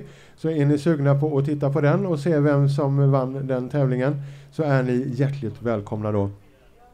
Eh, men vi kommer ju som sagt eh, ha en sändning igen klockan 15.00. Och den kommer att bli kombinerad, om jag har rätt, med prisutdelning. Då Om jag har förstått allting rätt Ja. så är det så ja. Eh, så det kommer vara prisutdelning Vi kommer försöka gå ut bland folket och prata lite grann. Mm. Eh, och vi kommer eh, få se vem som har vunnit den här otroligt spännande tävlingen. Det är en rafflande tävling. Och jag tror att det kommer komma igång snart igen, för det börjar blåsa upp lite grann. Yes. Eh, och det börjar lukta storgädda. Känner Ja. du det? Det har jag gjort hela dagen. Jag kan, jag kan känna Fast det luktar i, ännu större gädda nu, känna, tycker jag. känna det i luften. Jag tycker det luktar värmeväst från Wigglergädda. Över hundra luktar det. Ja, nej men att eh, vi väntar på den Lukta första. på den. Oh, du har, du har Luktar så det inte storgädda? Jo, det luktar Ja. storgädda. Det gör det. Bra! Fortfarande Team Park and Tats leder. Får vi se hur det ser ut om en stund när vi är tillbaks. Vad tror du? Eh, tror du att det kommer komma någon som är över eh, en meter idag? Ja, Det det tror tror jag. Ja. Och jag tror att det är superöppet. Vi kommer få ett litet eftermiddagsrace. Ja. Det kommer komma upp några fina fiskar och jag tror att det kan hända saker i resultat. Alltså vi har, ju, vi har ju lag som är väldigt giftiga. Vi har ju eh, både kviddfiskaren, den onde och den gode, som har stora toppfiskar. Ja. Och får de en stor toppfisk till med en gång så hoppar de upp. Då går de förbi. Så eh, det är, det är jätteöppet verkligen. Vi Någonting- har flanell också. Ja. De- är riktigt heta. Vad har vi mer för några som är farliga? Ja, jag skulle vilja säga, eh, jag undrar eh, om inte, nu, nu Sportfiskeprylar alltså, Henke Sandahl och, och, och eh, Rille och Snoken. Ja, nej vad säger jag? Rille och Snoken. Henke Sandahl, Jussi, nu har jag inte det uppe. Vad heter han? Saarinen. Ja. Och ehm, en till. Eh, det försvann i huvudet på mig. De blir farliga. Det var Ja. dit jag ville komma. Det, Ja. det, de har faktiskt, som jag sett, inte registrerat någon fisk än. Och det betyder nog att de går på stort. Och då kan det gå fort när det väl börjar, när det väl börjar hugga. Ja, det är ju det. Det Ja. krävs ju inte mycket egentligen. Det krävs bara en femmetersfisk så är man hemma. Då Eller är man hemma en Ja. fem meters. Fem, fem meter bred. Fem meter bred, ja. Absolut. Eh, är det någonting som förvånar dig här idag på, eh, på eh, listan? Det är ett duktigt folk. Det är lokalt folk och sen så är det i toppen och det är, det är ett team som, eh, som brukar göra bra, bra ifrån sig. Sjö och havsguiderna, eh, Happy Angler, Flanell sjua. Ja. Nej, men ja, det är nog lite grann som det ska vara och sen så tror jag att det kan komma en del överraskningar. Ja. Och när, när, om de får igång lite större fisk, eh, när 100 centimeterna börjar komma, då, då, då händer det grejer. Ja. Och återigen, ledarna, det är väldigt öppet. Team Pike Tats, de har alltså fyra registrerade fiskar. De har en till att lägga, lägga till i listan alltså. De, de har inte fiskat fullt än. Så att, eh, ja, det kan hända jättemycket. Två snabba fiskar för vilket lag som helst, Mm. så är de uppe i ledning. Mm. Absolut. Har du några personliga favoriter? Du behöver inte nämna det. då gör jag inte det. Nej, har du det då? Ja, jag, har, jag har ju några som jag tror verkligen kan ta hem det här. Ja, det finns ju vissa här som är, eller som man känner, de har rutinen, Mm. de har nerverna eh, och de har kunskapen. Yes. Och jag har Och också... de är superseriösa. Absolut. Och det är, det är en avgörande faktor. Mm. Tillsammans med tur, måste man väl också säga då. Oh ja, en bra Ja. målvakt har alltid lite tur med sig. Absolut. Precis. Men eh, det är fortfarande öppet och vad som helst kan hända i den här tävlingen här idag. Eh, vi ska snart gå av scenen här, Mm. kommer strax tillbaks igen. När, när vi kommer tillbaks i ordinarie sända, sändning om man säger så, så ehm, har vi lite grann att se fram emot. Det får vi väl nästan ta och göra lite reklam för. Vi kommer ju att lotta ut fler grejer så att för 17, ni som inte har vunnit, ni har fler chanser.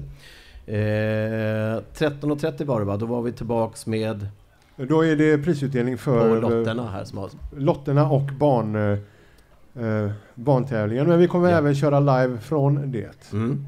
Eh, och sen då klockan 15.00 så är det slutspurt. Hur har Mm. det gått? Vi kommer att gå igenom de uppgraderingar som har kommit. Yes. Vi kommer att träffa Fjällorna. Eh, Tjejfiskeföreningen. Eh, tror faktiskt att det var Sivan Jansson som startade det. Hon var i alla fall en av grundarna. Ja. Vi har eh, Eva Falklind här bland annat som Yes. ska få berätta lite grann om deras verksamhet. Eh, sen har vi prisutdelning. Mm. Vi kommer helt enkelt att kora svenska mästare i gäddfiske 2021. Och det är lite därför vi är här idag. Ganska mycket. Det är nästan exakt därför Ganska vi är mycket. här idag. Ganska väldigt exakt mycket är därför vi är här idag. Så är det med det! Så är det med det! Som uh, trumman skulle ha sagt. Men uh, återkom uh, gärna klockan 13.30 om ni vill se vem som vann uh, juniorkampen här idag. Eller hur? Eller Ja. hur? Eh, Men eh, i alla fall, uh, var absolut tillbaks klockan 15.00. För då har ni chansen att eh, vinna ännu fler ryggsäckar som den vi har visat. Eh, och vi kan väl egentligen be dem skriva en liten grej till. Jag tyckte det var ganska roligt. Eh, ni har nu fram till tre på er. Men eh, ni har två stycken förhållningsregler. Det måste handla om mig och Jano. och det måste vara smickrande. Så vad den här tävlingen går ut på är alltså att fjäska på bästa sätt för mig och Jano fram till klockan 15.00. Och den som fjäskar bäst, som får oss att kännas varmast i själen som bomull för en trött själ, som mandel i en gröt, som en frisk fläkt på ett hav av sportfiskediarré. Den dikten, eller vad det nu är, vinner en rygga och den andra lottar vi ut på en vanlig grej. Ja. Vad tror du om det? Vi tar den, vi tar den. Under protest, men vi tar den. Eh, glöm inte att trycka på like. Och glöm inte att dela den här livesändningen till era kompisar via Facebook och allt vad ni har. Ju fler som tittar, ju fler såna här grejer kan vi göra. Det är Absolut. jätteenkelt. Så, ses snart! Jättebra, då ses vi snart, kära vänner. Och eh, när jag trycker bort här nu så kommer det stå 12.00, men jag kommer ändra det till 15 alldeles strax. Bra!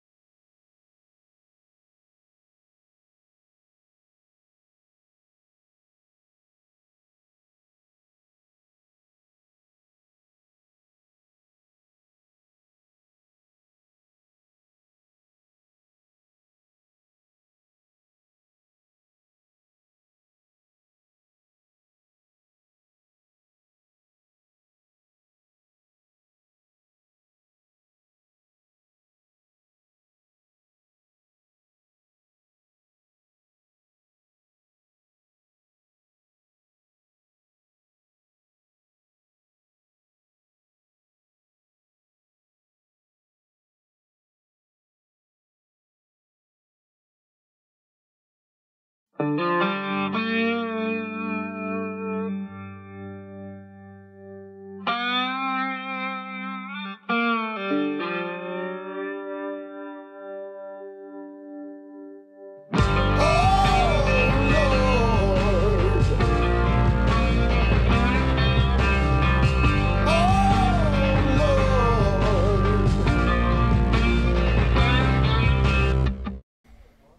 Hjärtligt välkomna tillbaks igen ska ni vara till livesändningen från Gädd-SM, SM i Gädda Ulricehamn 2021 vid stranden på Åsunden. Jano, Ja, hur mår du? bra! Nu är det inte långt kvar. Alltså det är så spännande nu. Mörkningsperiod sen klockan 14. Eh, folk rapporterar in sina fångster men ingen utom tävlingsledningen och ett par andra opolitliga personer Som oss. som oss kan se det här. Och eh, nu är det känsligt, nu får vi hålla tungan rätt i mun. Mhm. Nu ska jag titta lite grann. Vi kan ju börja vid, vid eh, när, eh, klockan två när eh, mörkningsperioden satte igång. Så kan vi konstatera att de sista minuterna så kom det in 200 plus fiskar. Eh, inte illa. Eh, det är bara att gratulera eh, Stefan Persson, Ulricehamns fritidsfiskare 1 till en jättefin och förmodligen jätteviktig fisk på 102 centimeter. Eh, tror ni inte att kviddfiskaren slog till också precis innan klockan två med en fin fisk på 100 centimeter? Conny Ekstrand, team kviddfiskaren. Eh, ja. Sen eh, utan att säga för mycket så har det nu den här eh, sista perioden kommit upp mer än en till Ja. över 100 centimeter. Yes. Det har kommit upp mer än en till på 90 centimeter Absolut. och eh, några fiskar till. Precis som det ska vara. Ja, och eh, det brukar alltid vara som så att det blir lite lugnare mitt på dagen för att öppna upp igen på det sena fönstret. Och det verkar det ha gjort. Men jag tycker inte vi pratar så mycket mer om det utan det kommer ju visa sig sen. Ja, Men eh, det har kommit in fisk. Absolut. till de som tittar.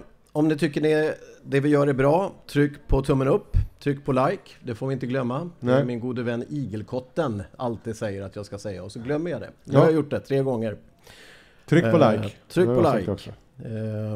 Det är bra, det är bra om ni gör det. Och eh, chatta på i kommentarsfältet. Ja, där ligger vi just nu. Vi är Ja. rasande nära. Absolut. Och precis innan vi gick av här så hade vi ju en eh, liten utlottning till på en av de här otroligt grymma ryggorna från CLC. Wild River eh, Lightning eh, Backpack. Strike. Strike Back. Eh, och då gick det ut på då att ni som tittar skulle skriva fjäsk till mig och Jano. och vi har fått in lite bra fjäsk här faktiskt.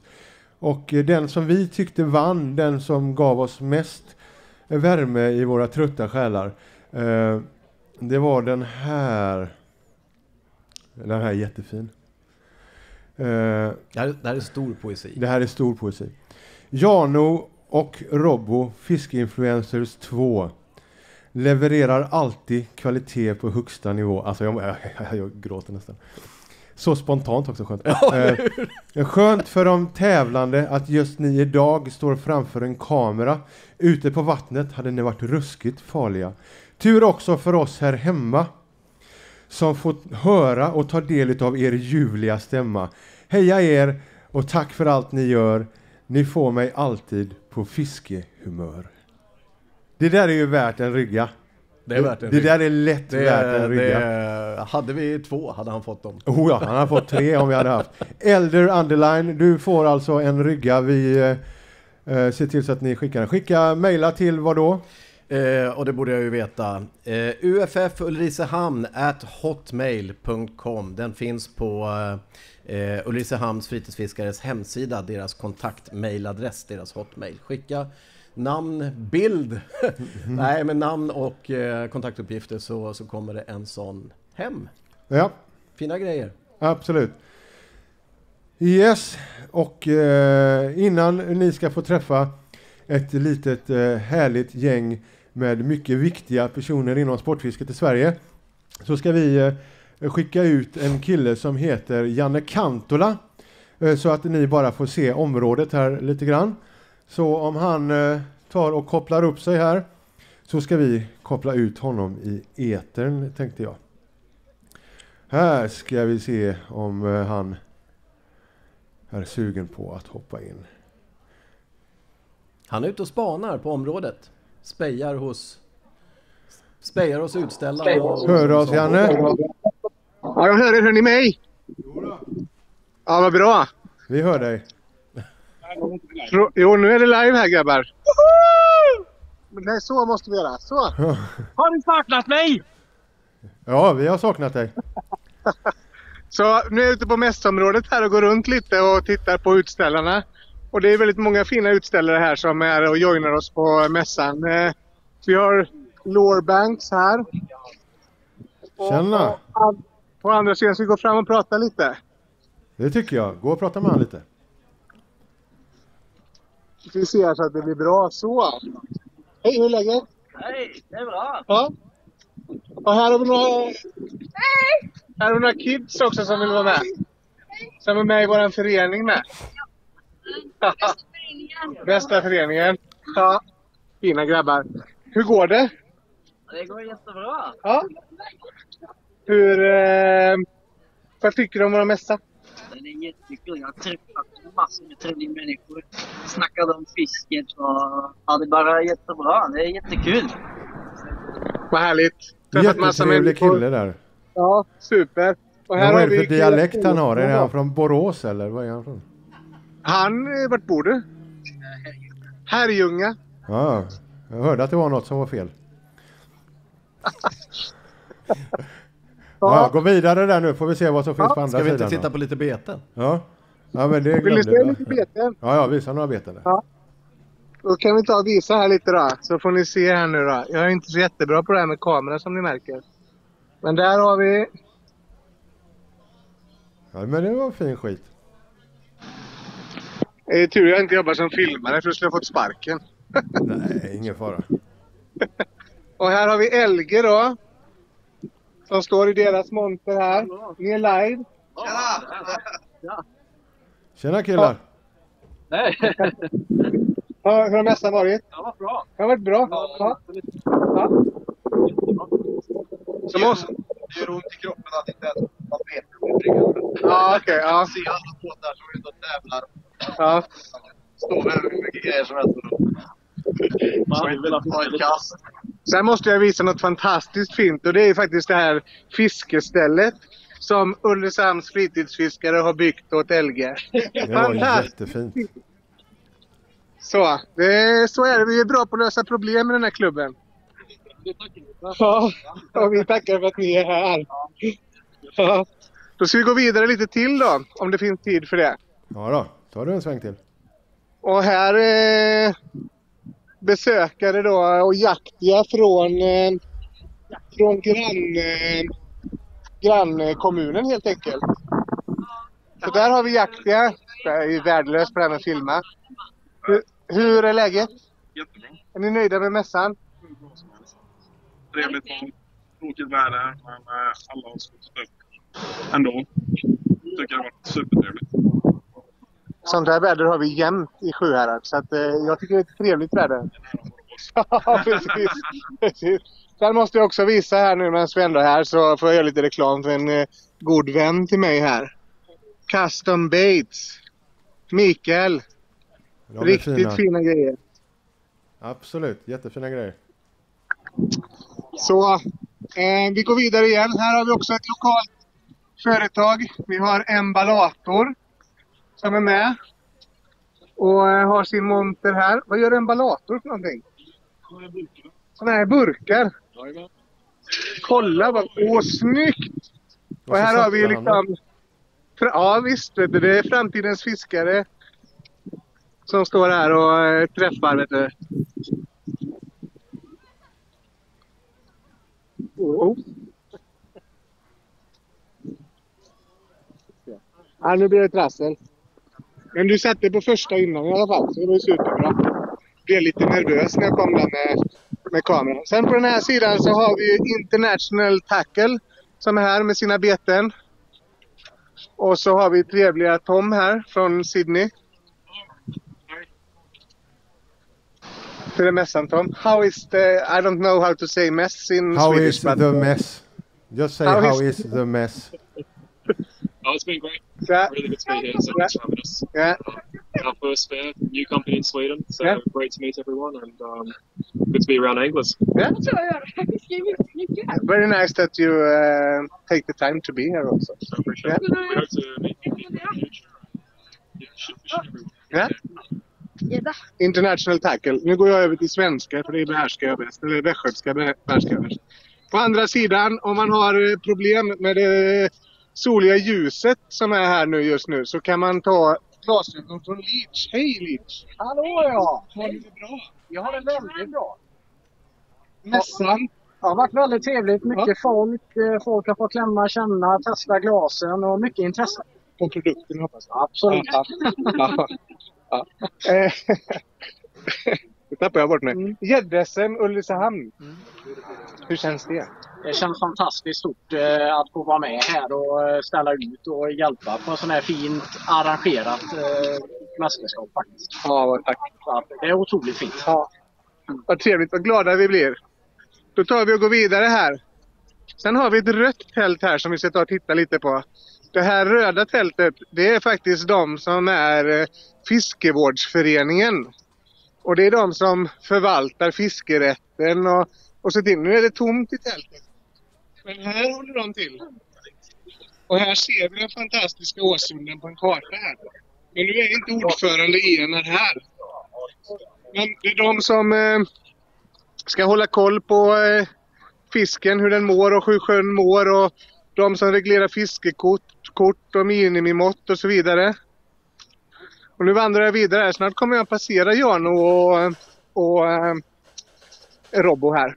Men kan du inte gå och kolla hur vi ser ut då? Hur det ser ut här? jag du, göra kan det? ge oss, du kan ge dem en liten titt från utsidan hur, hur Ja. det faktiskt ser ut på mässområdet där jag och Jano står och jobbar nu och sen så går vi tillbaka till till sändningen. Så om du ställer dig precis i mitten här nu och filmar hitåt så klipper jag in så att det ser ut som att vi bara flyger in. Här står vi. Och vi har även med oss eh, Patrik här idag som sköter skärmen. Vi är med Grabbahalvan som sköter all tekniken. Och så har vi Jano och så har vi mig här. Och det var mässan i sin helhet. Tack så mycket Janne Kantola för den fina rundturen. Mycket bra. Mycket, Mycket mycket, bra. Du kan ta dig lurarna om du vill Jan. Om du inte Jajamän. värmer gott på öronen, det vet jag inte. Nej, jag klarar mig utan dem. Du klarar dig utan Jag blir busbra utan dem. Ja. Och vad händer nu Jano då? Ja, nu tycker jag att vi ska ta och titta i schemat och jag tror att vi ska göra som så. Eh, att vi ska prata med till exempel till exempel Fjällorna. Fjällorna, vad tror ni om det? Har vi några fjällor här idag? Det hade vi. Vad härligt. Vi har två minst. Har vi minst två? Ja. Hej och välkomna upp eh, till våran lilla eh, Hörna. hörna. Janos hörna. Hylands hörna. Ja, den var gammal. Då. Eh, Då har ni en mikrofon här och så håller vi den nära munnen när vi pratar så ska jag försöka höja lite här. Håll koll på så att det inte blir rundgång ut här nu. Hej och välkomna! Tack så mycket. Vad kul att se er! Ni är ju ett eh, inslag i den, eh, i den svenska sportfiskevärlden som är väldigt, väldigt viktigt. Tycker jag. Det tycker vi med. Absolut. Kan ni inte berätta lite grann vad ni gör och eh, vilka ni är? Fjällorna är en sportfiskeklubb för alla tjejer. Vi bildades 2003 och av Sivan som då saknade fiskekompisar helt enkelt. För att hon ville ut och fiska med tjejkompisar. Hon var ensam. Ja, hon hade ju en man, men eh, han fiskade, han var laxfiskare. Mm, mhm. Eller är fortfarande, men eh, så då tänkte hon att eh, jag måste göra något åt det. Så då bildade hon Fjällorna. Vad roligt. Sivan Jansson. Exakt. Sivan Jansson. Hon var väl eh, med i den här eldsjäl... Ja, hon var nominerad i. Eldsjälsgalan. Jajamensan. Eh, måste nästan lägga till, för jag tycker det är så intressant att hon, hon har ju pratat väldigt mycket om att fris, fiska sig till hälsa. Fiska sig friskare. Fiska sig friskare till och med. Det är en bra slogan. Eh, drabbades av någonting men har Mm. använt fisket för att läka sig själv. Precis, det är väldigt bra rehab Mm. att komma ut på vattnet. Och det var ju inte alls länge sedan egentligen som, om vi nu lämnar tråden lite grann, eh, som, eh, eller vi fortsätter i tråden rättare sagt, eh, som fiske, som, eh, som, eh, vad heter det? Friskvårdsbidrag. Friskvårdsbidrag Det blev, kom igenom, det var eh, förra året va? eller var det förra, förra året tror jag? Förr, förra Nyl- kanske. Ja, nyligen i alla fall. Någonstans där. Eh, Och hur, eh, hur jobbar ni?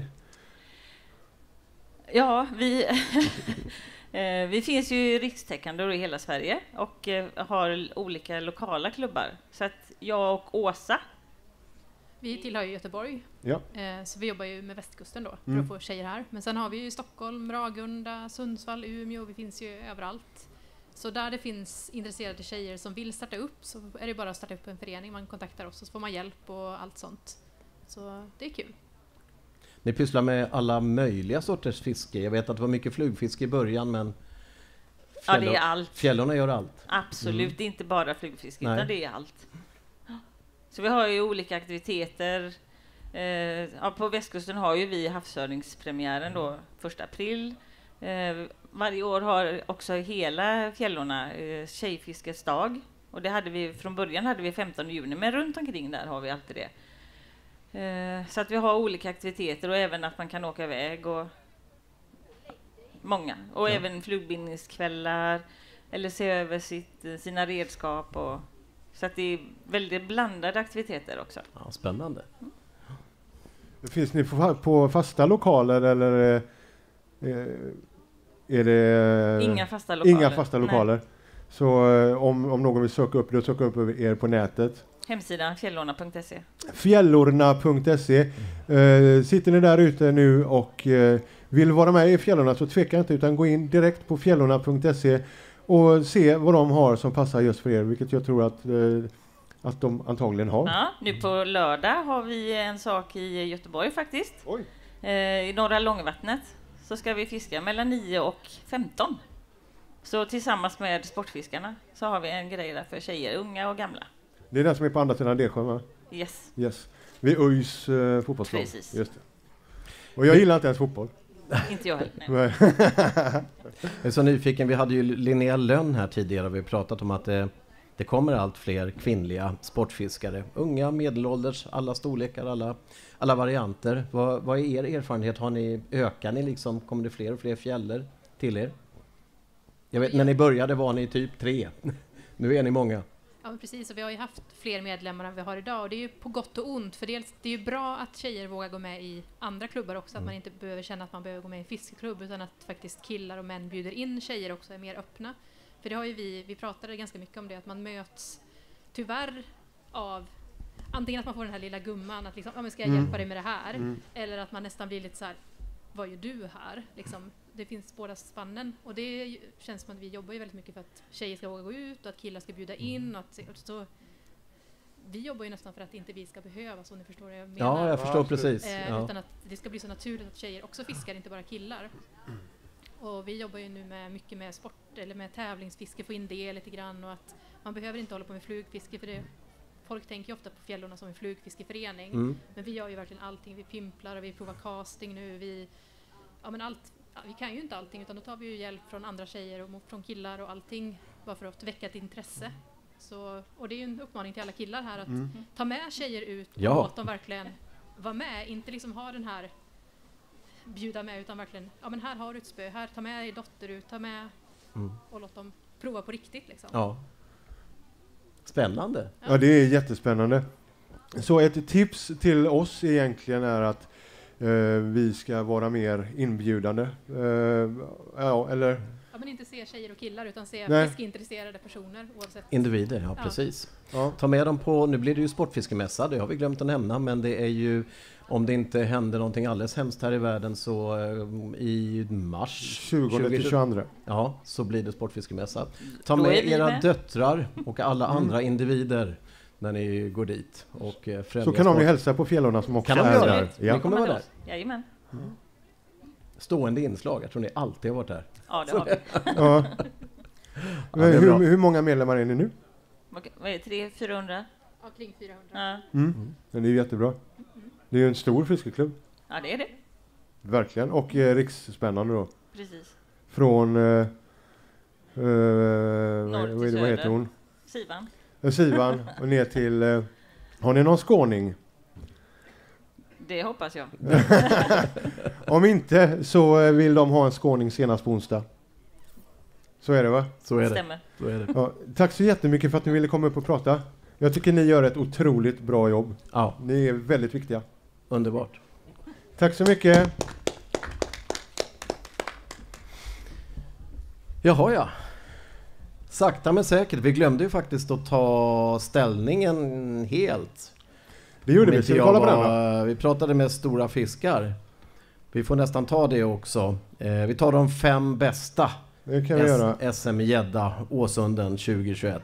Med fantastiska Ulricehamns fritidsfiskare som arrangörer. De har gjort ett otroligt jobb. 318 centimeter slutade ledarteamet på klockan två när mörkningsperioden inträdde. Och det är de som har hållit flaggan högt ett bra tag nu. Det är Team Pikes and Tats, lokala. Yes. Christian Rohr, Johan Wernersson och Jack Mirsa. På andra plats, 258 centimeter, Kviddfiskaren, Team Kviddfiskaren. Conny Ekstrand, Anders Gustafsson och Peter Karlsson. Eh, tredje plats, 251 centimeter, Clickbait Fishing Crew, Snake med Hampus Benjaminsson, Benjaminsson, Rasmus Nilsson och Emil Ståhl. På fjärde plats Sjöhavsguiderna 2 som också har fiskat bra under hela dagen. De har hållit sig till och med ledigt lätt.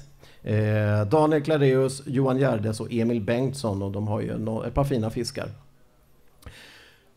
Sista och femte plats som vi drar här just nu, 222 centimeter, Team Go Fish med Daniel Wahlström och Peter Nilsson. En 86 en 73 och en 63 Vid klockan två vid mörkningsperioden var det väldigt öppet. Mm. Jag tycker det är riktigt spännande. Alltså det är galet spännande. Och det är en, två, tre, fyra, fem. De enda som har fiskat fullt papper vid klockan två, det var alltså Team Pike and Tats. Och jag vet att det har hänt väldigt mycket efter det. Spännande! Yes. Ja, eh, nu ser vi ju fram emot den rafflande prisutdelningen och eh, the revealing of the winner. Eh, som kommer ske ungefär vid halv fem. Är det inte Ja. så? Jo. Vi hoppas att det är det så att eh, alla hinner komma in med båtarna och komma upp hit. Eh, Så vid fyra kommer vi ta en liten kort paus. Vi kommer flytta undan lite grejer och bygga om här till, till prisutdelning. Pokaler, priser, eh, vad heter det, 1, 2, 3 eh, sådana här man står på. Prispall. Prispall, Ja. 1, 2, 3 grej. Ja, 1, 2, 3 grej. Vi ska sätta fram 1, 2, 3 grejen Mm. eh, och göra så att alla får plats här. Och vinster, vilka vinster det är här? Det är hur mycket som helst. De är där inne nu och försöker få till logistiken med att bara dela upp allt efter hur det ska vara. Men det är, eh, det är nästan galet mycket. Ja. Så är det. Nu har vi lite olika val. Vad tycker du? Ska vi eh, dra en eh, lådtävling innan vi... En väsktävling innan vi tar upp eh, kajakgrabbarna? Så att de får förbereda sig lite grann. Det kan vi göra. Alexander Johansson och Andreas Edberg, två av Sveriges bästa kajakfiskare som är här och, ja, de är här och minglar, har en liten, en liten utställnings... Där är de. Där är de, står vinkar och- fint där borta. De har ett utställningstält och de har en fantastisk kajak. Han sitter ju alltså, för er som inte ser det härifrån, eh, han sitter i sin kajak på land, vilket betyder att man kan alltså köpa en kajak och använda den som fåtölj om man vill hemma. Det blir en väldigt, väldigt dyr fåtölj, men man kan om man vill. Det är fullt möjligt. Det är fullt möjligt. Och skulle inte förvåna mig om grabbarna har det så hemma. Det har de säkerligen.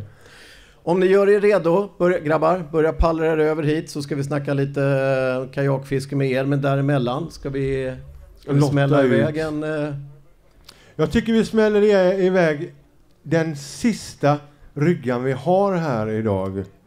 Och ska vi gå igenom ryggan en gång till för de som är nya? Det tycker jag. Emil, ska vi gå igenom ryggan en gång till? Nej, nej. Ja, okej. Kameramannen! Vi har den här. Wild River från CLC. Den har alltså lampa med massa roliga grejer på. Den har lådor där man kan lägga ner precis allting man vill. Den har fyra stycken betesboxar här i. Fickor. Den har såna här härliga små jojosar. Den har för, vad heter de där jojosarna egentligen? Vet du det eller? Ja, men jag har glömt det. Ja, där ser du själv. En uh, Ber- Dragflärp. Burkle. En Burkle Snurkle. Burkle Snurkle. Och det där är den stora modellen. Yes, den stora Burkle Snurkle. Och så har den uh, förtänger. Pin någonting heter det. Ja, på andra, just det, dragpin eller något sånt där. På andra sidan finns det ännu mer fickor. Eh, och eh, det har för glasögon där uppe. Det här är värt 3000 kronor. Och eh, hur går den här tävlingen till nu då, tycker du Jano? Ja, då får jag bara säga eh, Sitt redo nu vid tangentbordet.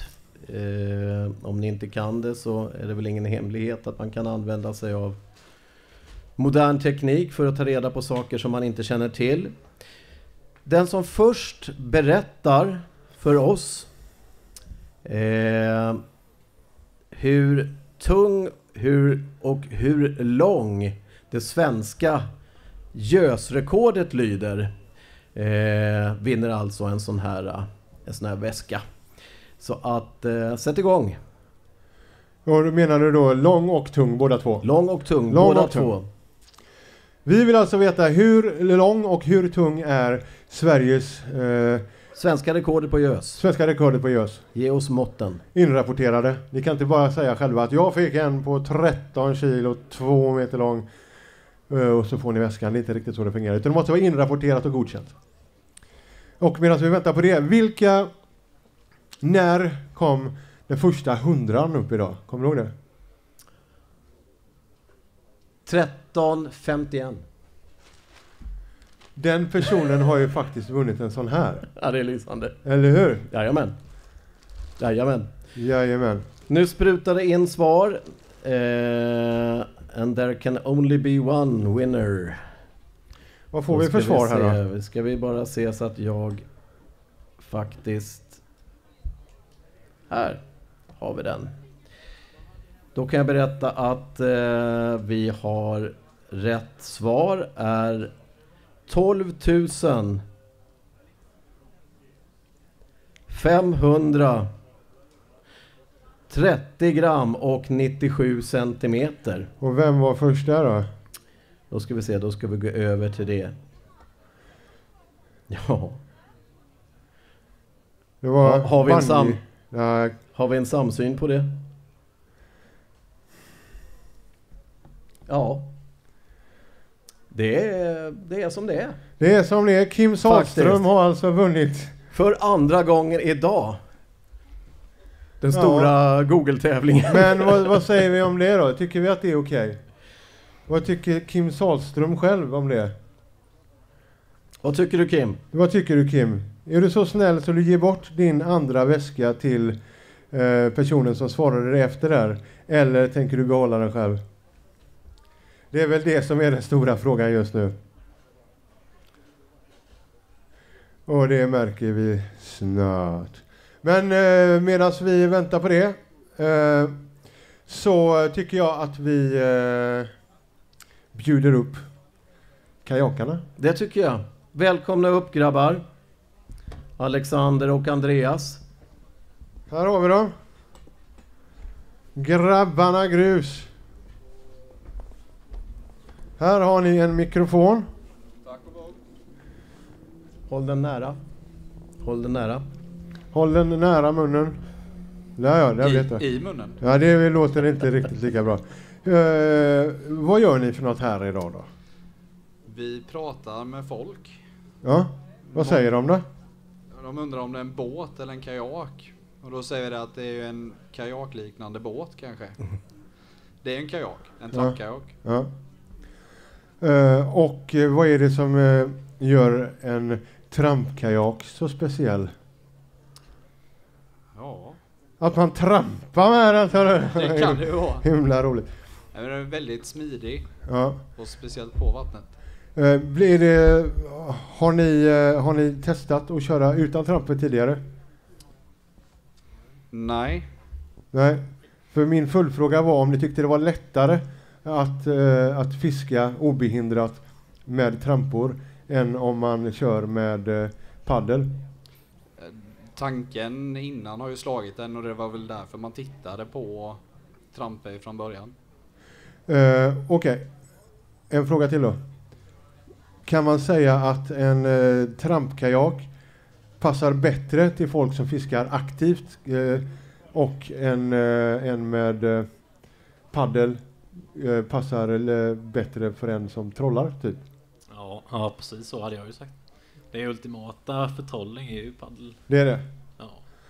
Men det funkar ju att trampa med, men det är ju lite jobbigare kanske. Ja. Vad har ni för kajaker? Ja, Native Titan heter de. Ja. Jag har en 12 och alla har en 13,5 fot. Ja. Hur breda är de då?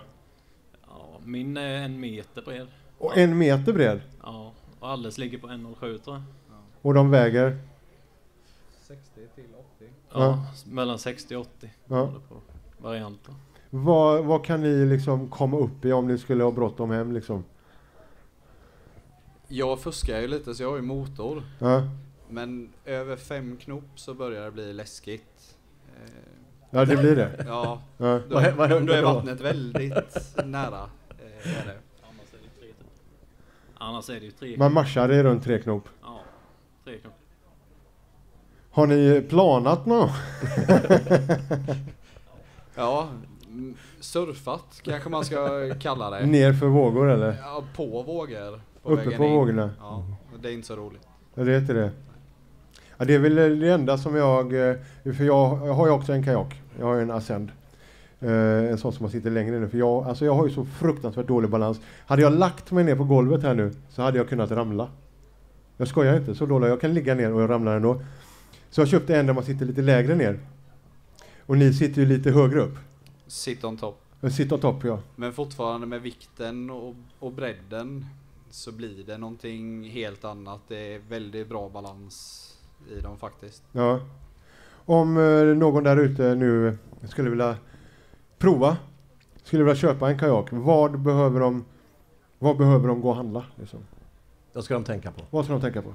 De ska tänka på att testa innan. Eh, Det finns ett par handlare som man kan åka och testa hos men skriv till någon. Det är oftast ganska gemytliga folk som, Ja. som håller på med det. Och vi har ju Felix Frey bland annat på Kayak Store. Han är ju väldigt bra på att svara, han är väldigt trevlig. Eh, Brinner för Han, verkligen brinner för och skulle vilja säga att han är en stor anledning till att, eh, att det kommer ut så pass mycket med hans tävlingar och allting. Jag tycker han är en jättebra pojk. Eh, så kajakstore.se, dit kan ni kolla. Vart köper ni era grejer då? Jag köpte min på Native Sweden. Ja. Uppe i Östersund. Eh, Men testade den i Växjö först och sen av deras återsäljare. Ja. Men de slutade sälja den kajaken så Okej. var det inte mycket att välja på. Vad är det som gör att du har en och en halv fot längre än han? Storhetsvansinne? Nej. Men jag gillar att ha med mig mycket grejer. Ja. Ehm, och vill, eller ville kunna komma ut på lite större vatten. Och då känns det som att den här foten, den gör faktiskt skillnad. Eh, Det är egentligen lastutrymme, lastvikt som, som är skillnaden. Ja. Så, och varför du tog en 12 var väl för att du ville kunna få upp den på taket. Från början. Men sen är Men det vill du inte ha nu längre när du väger tungt 70 ändå. kilo eller vad sa du, 60? Jag Men du- testade ju ändå. Du är ändå rätt biffig liksom. Jano sa ju det förut när vi såg dig. Så, såg du han den muskliga pojken sa han. Ja. Och jag bara, ja, han var Snurrar. förbaskat stor. Kan, ni- du få, kan du flexa Jano? Får vi se på... Yeah! Så, vill ni, vill ni bli stora i armarna så ska ni börja paddla kajak fast ni använder benen i och för sig. Men hur gör ni? Ta, ha, tar ni dem på taket eller? Nej, det är för bökigt tycker jag. Så det väger mer än vad man tror med Ja. 60-70 kilo. Liksom. Jag kör ju på släp, jag bara slänger upp hur smidigt som helst. Eget släp eller specialsläp? Vanligt släp? Nej, ett vanligt hederligt släp. Ett vanligt plant släp? Ja. Ja. Sen har jag ju stödhjul på kajaken då, så det är bara att rulla upp skit. Men du, du har inte dem i vattnet va? Nej, Nej. man får vrida upp dem då. Ja. Men det finns ju pontoner har jag sett. Ja. Som man kan ha vid sidan om. Och det är väl ofta om man står upp och flugfiskar och sådana grejer. De har väl sådana för att det ska vara... Ja, för jag såg en som var skitcool. Där de kunde typ... De puttade ut dem så och sen när de åkte igen så drog de ihop dem. Det var skitcoolt. Katamaran nästan. Ja. Trimaran blir det nästan också då. Ja, jag tycker det är spännande. Har du provat någon gång Jono? Det har jag. Eh, nu tjatar vi om Felix Frey. Jag Ja. eh, faktiskt livesände med Felix för några år sedan. Ja, gösfisket Och, i- jajamän, ja. eh, i hans trakter där. Och eh, mitt eh, bestående minne är han sa Nu ska vi paddla 10 minuter ut dit. Det är där vi ska filma. 50 minuter senare var vi framme. Eh, Så att eh, det var hårt arbete. Eh, Men det verkar faktiskt vara någonting som, som ett flytetyg som i sig levererar fisk av olika skäl. Har man en kajak verkar det som det kan gå väldigt bra. Det är ni två ett väldigt talande exempel på. Verkligen. Mr Supersize-grabbarna här. Ni får berätta lite grann om era fångster och faktiskt så spelar kajaken en del roll i det här. Jo, det gör det Men det, man får inte ha bråttom. Nej. Men Bra att du sammanfattade min upplevelse. Men med tanke på det så, så lär man sig också nya grejer. Mm. Eh, Att jag inte åker som jag gjorde med båten från A till B och B inte funkar och jag flyttar mig till C. Här får du hela sträckan. Ja, det har ju gjort att man hittar nya ställen, nya beteenden. Mm. Eh, Det är väl en del i, i fisket. Eh, Men också att det är tyst och lugnt och det är lugnt för fisken och du kan placera dig, eh, behålla position på Ja. ett helt annat sätt än med en, en Utan att väsnas, ja. Mm. Vi sa det innan när vi pratade lite, eh, vi fiskar ju i team också, i båt. Mm. Där krävs det nästan tre personer för att vi ska få ihop samma saker som man själv tycker är ganska enkelt i, i kajaken. Mm. Som vad? En som kör, håller koll på navigation, Yes. en som styr elektroniken och en som aktivt fiskar. Ja. Eh, här så har vi en liten paddel, du trampar när du ska fram och bak. Navigationen behöver du inte se på en skärm för du känner eh, vad det är liksom. Ja. Mm. Ja, det är intressant. Och då kommer de stora fiskarna. Efter många timmar ja. Ja, de hoppar inte upp. det Nej, är bra att du säger det. tyvärr. Men, men, eh, nej, men det syns ju att just eh, liksom att ni har lärt er att använda kajakerna effektivt så har ni också nått framgång. Ni får berätta om lite fiskar. Det är ju ett gäng fina gösar och och gäddor som ni har tagit från kajak. Den, inte sista men en av de jobbigaste var på eh, Big Three. Vi hade ett helt sjukt rekfiske eh, med fem längsta gösarna över 460 eh, centimeter. Det är någon 96 eh, 92 eh, och sådär. Och så ett par dagar efter kom vi till tävlingen och det är helt blankt. Jag ser inte en gös. Hittar lite gäddor.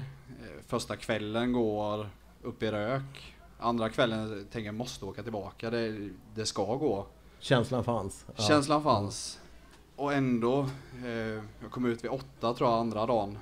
Och vid två på natten så bara bryter jag ihop, det går inte. Packar ihop, åker till en annan sjö, typ en halvtimme bort. Backar ner försiktigt på en camping, folk ligger och sover. Mm. Och kommer ut 30 minuter där ute. Så lyckas jag ta den där 92an. Mm. Och den var ändå ja, en sån lättnad. Mm. Och i tävling med. Så det var, det var brutalt. Ja, det är bra. Det är bara att gratulera. Ja, det är ju riktigt coolt. Och du då? Ja, mitt bästa minne nu i år skulle jag säga. Det är en jävla sjö man suttit på i 20-30 gånger kanske. Inte fått något större, vad ska man säga. Sen åker man ut en dag och träffar ett från Supersize, 120, 123 centimeter, Mm. ja, 124 till och med. På 12 kilo då. Ändå ganska smal, så jag vet att den kan väga 15-16 Ja, ja, visst. nu i höst då. Så det blir en jakt på den. Men annars är det Och vilken sjö var det då? Och vart i sjön var du? Ja, det var ju den eh, skit nere i sjön. Ja, ja, ja, ja. Hemlig Jaure heter det i Norrland. Ja, det är helt fantastiskt. Vi kan ju inte, vi kan ju liksom inte, jag kan inte i alla fall prata kajakfiske utan att nämna en, eh, en kajakkollega till er, Tommy Blomander. Eh, Med sin kajak har han en meritlista som han, han kanske har flest stora gösar i hela Europa. Jag, jag vet inte, men det är rimligt att anta att han är bäst i Europa. En bra bit över 10, över, över, över 10 va? Över 10 kilo. Ja. Jag tror det är över 30 nu. Ja, men Oj. herregud. Shit. Jag för mig något sånt, men det ska jag låta vara vara osagt. Men vad hade han förra året? 120, 130 supersize gösa. Ja, ja. men, ja. fler än vad de flesta får på, ja, vad nästan alla får på ett liv. Ja. Får han på en vecka? Ja. ja precis. Inte på ett år. Helt, helt galet. Ja, ja, Så och det, det är ju en kombination av att han verkligen utnyttjar liksom kajakfisket till sitt yttersta. Stealth mode, han smyger på fisken och han ger inte upp. Mm. Naturligtvis bra vatten också, men jag tror inte du hade haft den framgången med en, en, eh, en 6 meters båt och 180-200 hästar. Nej men det är ju många som fiskar i samma vatten som, som honom och vi också emellanåt men en annan när man får en sån fisk, du är glad för hela veckan. Ja. Du, Mm. du vill ju bara hem och lägga dig mitt i natten. Mm. Men att att fortsätta då få två till och tre till och sex till Ja. och sist vet jag inte om det var, var det sex över 90 på ett, ett pass. Det, Och, och för inte så länge sedan en eh, 120 plus 15 plus gädda. Mm. Jag kommer inte ihåg de exakta måtten men eh, jag tror att det var- eh, det var nytt PB för honom. En fantastisk gädda. Och dubbler. Ja, en Både tolva. su- su- supersize gädda och supersize gös på, på samma pass. Ja, det är helt galet. Så att behöver man mer, eh, vad ska man säga, övertygelse att kajak faktiskt är ett- ett väldigt intressant och spännande sätt att jaga fisk på. Då, då får man nästan, ja till slut prata med Tommy. Det går inte att säga emot. Nej. Nej, jag går inte att säga mycket. Nej. Ja men det är, jag tror att precis som du sa, eller om det var du som sa det, någon av er eh, sa verktyg. Jag tror att det är lättare att göra en kajak till ett verktyg eller en förlängning av en själv än vad det är att göra en båt till samma sak. Så jag tror att eh, ni är inne på, på rätt spår och att alla andra i Sverige är på fel spår tror jag. Jag tror det. Så eh, nästa år kommer det bara finnas kajakfiskare. Inga vanliga båttävlingar överhuvudtaget. Men det, det går ju framåt. Ni har ju en egen liga eller vad man ska säga. Eh, hjälp mig, vad heter den? Tor? Är det inte kajak? Kajak, Kajak Tor. Ja. Kajak Tor. Mm. Även där är har Felix väl... Eh, Felix är- inne och pillar. Ja, han är förbaskat driftig den pojken. Riktigt bra och duktig kille. Ja. Tack så jättemycket för att ni ville komma upp och eh, prata med oss och dela med er utav era grejer. Vart hittar man er på nätet? Facebook, Instagram. Eh, Instagram under Team Sander Brothers. Sander Brothers. Det är samma som står på hans mussar, men ni ser det inte nerifrån. Team Sander Brothers. Ni hittar dem på Facebook och ni hittar dem på Instagram. In och följ med en gång. Ge dem lite glada tillrop. Och eh, glada hälsningar. Grymma grabbar. Riktigt bra. Kul att se er killar. Bra jobbat. Tack ska ni ha. Aj, aj. Ja! Ja. Heja Sander Brothers! Ja du Jano. Yes! Vi har pratat med så otroligt många människor här idag. Visst har det varit kul? Ja, det har varit otroligt roligt. Vi har... eh, De enda vi egentligen inte har pratat med är ju Andreas och Mattias. Ulricehamns fritidsfiskare. Ulrice, Ulricehamns två absolut vackraste människor. Både i själen och... I själen. Mest i själen. Mest i själen. Vi tar bara själen där. Eh, Men det hade varit roligt om vi skulle kunna få ta några ord med dem känner jag. Ja, är det Eh, möjligt? Som ändå har varit med och arrangerat den här otroliga Vad har vi dem? SM-tävlingen. Här kommer de. Skulle vi kunna få låna er på scen här lite grann killar? Oh! Ulricehamns rockstjärnor brukar de ju gå under det epitetet. Har du Ja, hört det? finest. Ja. Här kommer de. Här är de. Här kommer de. Bra det här. Yeah. Mattias och eh, Andreas. Sådär ja. Hej! Hej! Det här är ju då som ni alla i Ulricehamn vet den andra gången någonsin som ni hör Mattias prata. Ja.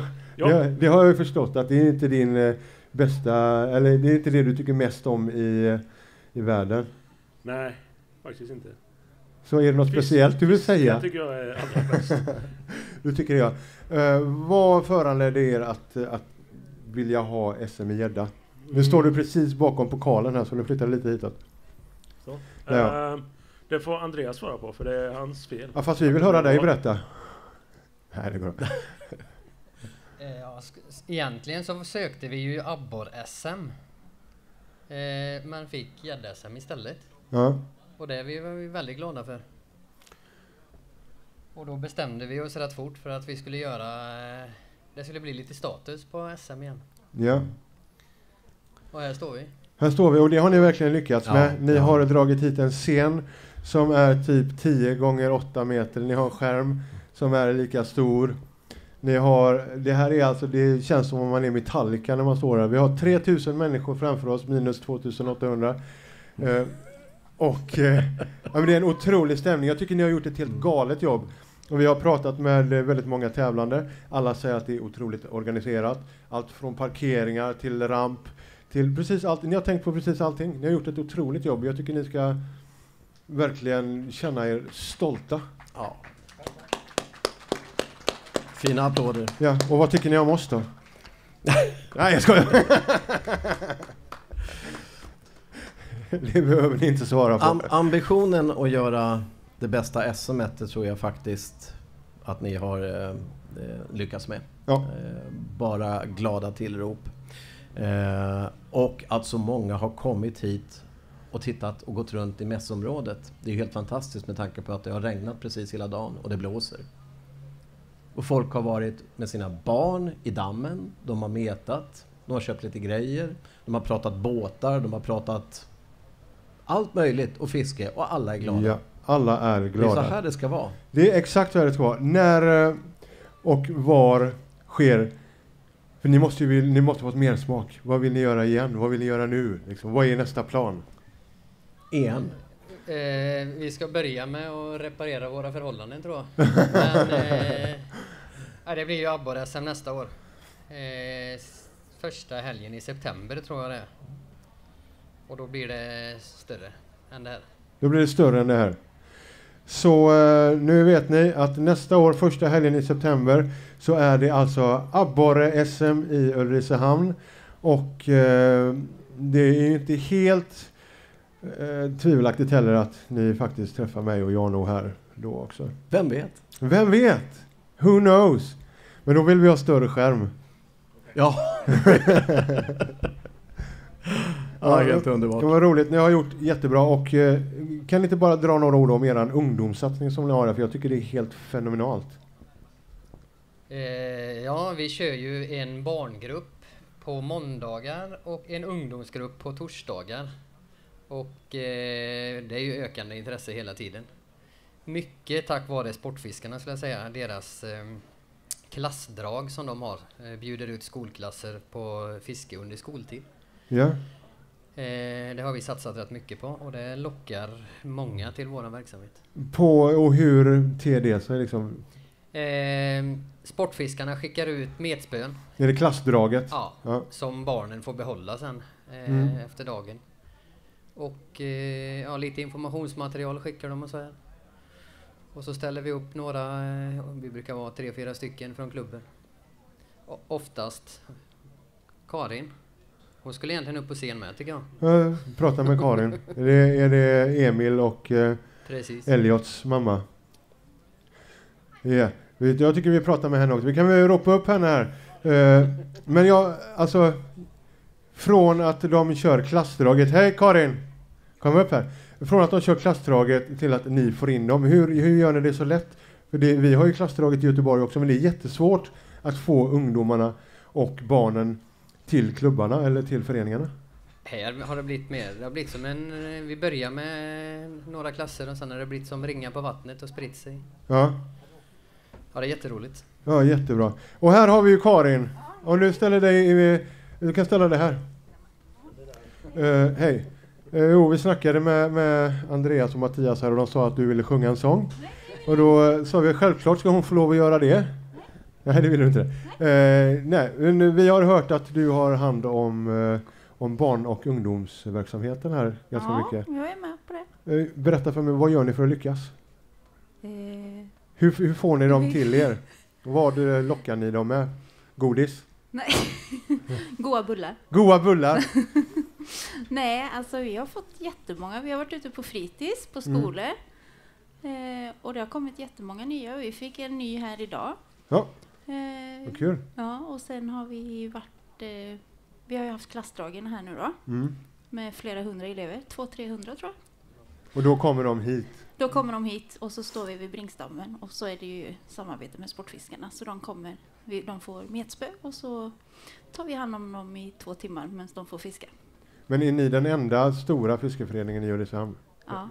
Den enda? Den enda. Där har vi lite, det är inte riktigt samma sak i Göteborg där. Nej, lite större, nej. För, ja, Vi har barn som kommer ända från eh, Kinnarp. Var har vi mer från? Borås, Kinnarp. Så vi har många barn och ungdomar här. ja, det kanske är det som är egentligen Och många kärnan. föräldrar som är med och hjälper till. Och, Hemligheten, ja, att, att det har en stor förening och inte, inte så många små som det är Nej. i Göteborg. Och en grej som är i Göteborg också är att många utav fiskeklubbarna är kopplade till en fiskevårdsförening som är kopplade till ett put and take-vatten. Vilket gör att man har en ganska hög medelålder eh, som inte föryngras på något sätt. Så det är väldigt svårt att få in eh, ungdomar. Nu lockas de ju när de ser och får jobba med folk som er, eh, fräcka killar och eh, Andreas. Och Ja, hur ska du ta dig ur det här nu då? Förlåt mig. Eh, nej men det är en helt annan, eh, en helt annan sak. Jag, eh, jag tror jag förstår vad det är ni gör rätt och jag förstår vad det är vi gör fel i Göteborg. För vi, vi kan inte locka dem. Vi har försökt med klubben, vi har varit ute på fritid och sådär men i Göteborg så är det fortfarande ganska osexigt just eh, den delen av fisket. För det är svårt att göra de gamla fiskeklubbarna till rena predatorklubbar som jag tror är framtiden för ungdomarna. De är inte intresserade av att gå och lära sig binda en fluga på tisdagar och stå vid ett potentäckvatten bara. Liksom. Bra jobbat. Eller hur? Fantastiskt bra jobbat. Ja. Åker ni förbi Ulricehamn någon gång eh, så kör fort. Men, nej, utan åk in, hälsa på eh, killarna här. Ågatan. Ågatan. Hälsa på, åk in och titta hur det ser ut. Det är en helt fantastisk klubbstuga. Jag kan inte säga det många gånger nog. Jag skulle vilja ge er en stor applåd. Andreas, nu står du bakom pokalen. Så, och ni har ju följt tävlingen nu under hela dagen. Hur eh, känns det då? Det har varit rafflande. Ni har ju suttit också och godkänt bilder. Ja. Eh, hur, eh, hur har det sett ut nu? Hörs jag inte? Hörs jag? Nu hörs Ja, jag. Ja, så. Eh, jo, Du får har- inte nämna någonting nu om vad som Nej, har hänt nu nej, efter klockan nej. två alltså. Nej, men eh, det har hänt väldigt mycket sen uh, mörknings... eh, Du har gjort det? Ja. Ganska ordentligt mycket. Eh, men eh, ja. Då lämnar vi det där tycker Ja, jag. Innan någon försäger sig här så då Ja. blir det ju dumt. Men ni är nöjda med dagen så som Ja, det har varit hittills? Absolut, absolut. Det känns jättebra. Eh, allt har flyttat på. Inga olyckor, inga skador. Framförallt, det är det viktigaste. Eh, det känns som att allt, appen har funkat lysande bra. Och det var ju Fishy. www.fishy.nu där ni har kunnat följa resultatet under dagen också. Absolut. Eh, är det någonting som ni själva känner nu att ni vill ändra på och göra bättre till, till eh, SM i abborre nästa år? Är det någonting som ni känner att shit, där hade vi kunnat ändra på? Har det dykt upp någonting sånt? Köpa hem mer hamburgare. Är det så? Ja, för det har tagit slut hela tiden. Det är ju ett ganska lyxigt problem ändå. Mm. Vi hade en fruktansvärt stor tävling och det enda jag är missnöjd med är att vi inte hade tillräckligt med hamburgare. Det är ju ett bra betyg Ja, ändå, det är ett eller? väldigt- Om det är det värsta betyg. problemet. Eh, nu är det faktiskt dags för oss att ta en liten, liten paus. Det är dags för prisutdelning eh, om ungefär 30 minu- 35 minuter. 35 minuter ungefär. 35 minuter. Ja. Så vi ska bygga om här på scen lite grann och göra klart för eh, tills eh, deltagarna och de tävlande kommer tillbaka. Yes. Så eh, vi ses snart igen allihopa. Hej på er!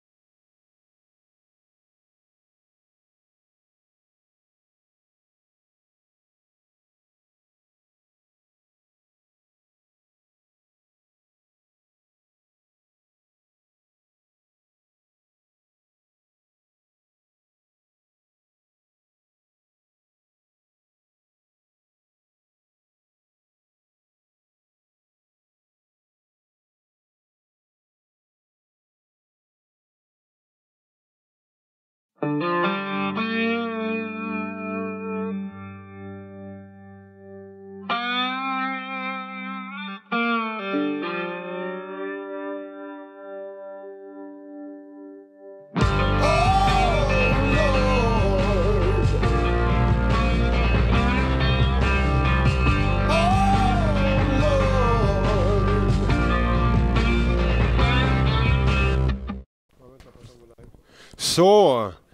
kära vänner, vilket jobb ni har gjort. Det har varit otroligt spännande att köra live från den här sändningen idag, som eh, höll på i sju och en halv timme från scen. Så man är gött trött i halsen. Ni har kämpat på otroligt bra.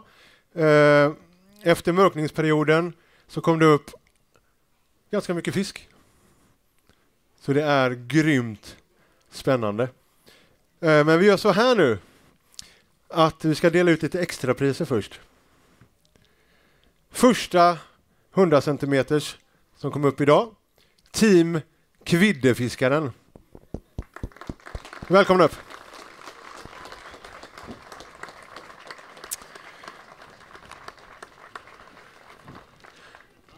Du vinner en värmeväst.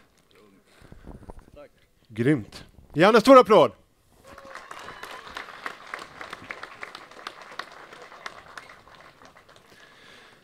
Sen har vi ett pris till de som ledde tävlingen klockan 12. Och det var Team Pike and Tuts. Här har vi då. Ni har vunnit ett eh, Abigacia Beast 30 110 gram tillsammans med en fet rulle och lite skön lina. Ni får det självklart allihopa. Ge dem en stor applåd! Och är det så att ni är sugna på att bli tatuerade så gör de det på efterfesten idag. De är med sig maskinerna. Halva priset. Då är det dags, mina kära vänner. Femte pris. Det får du jättegärna göra min vän. Eh, innan jag gör det så vill jag presentera den här herren. Ge en stor applåd.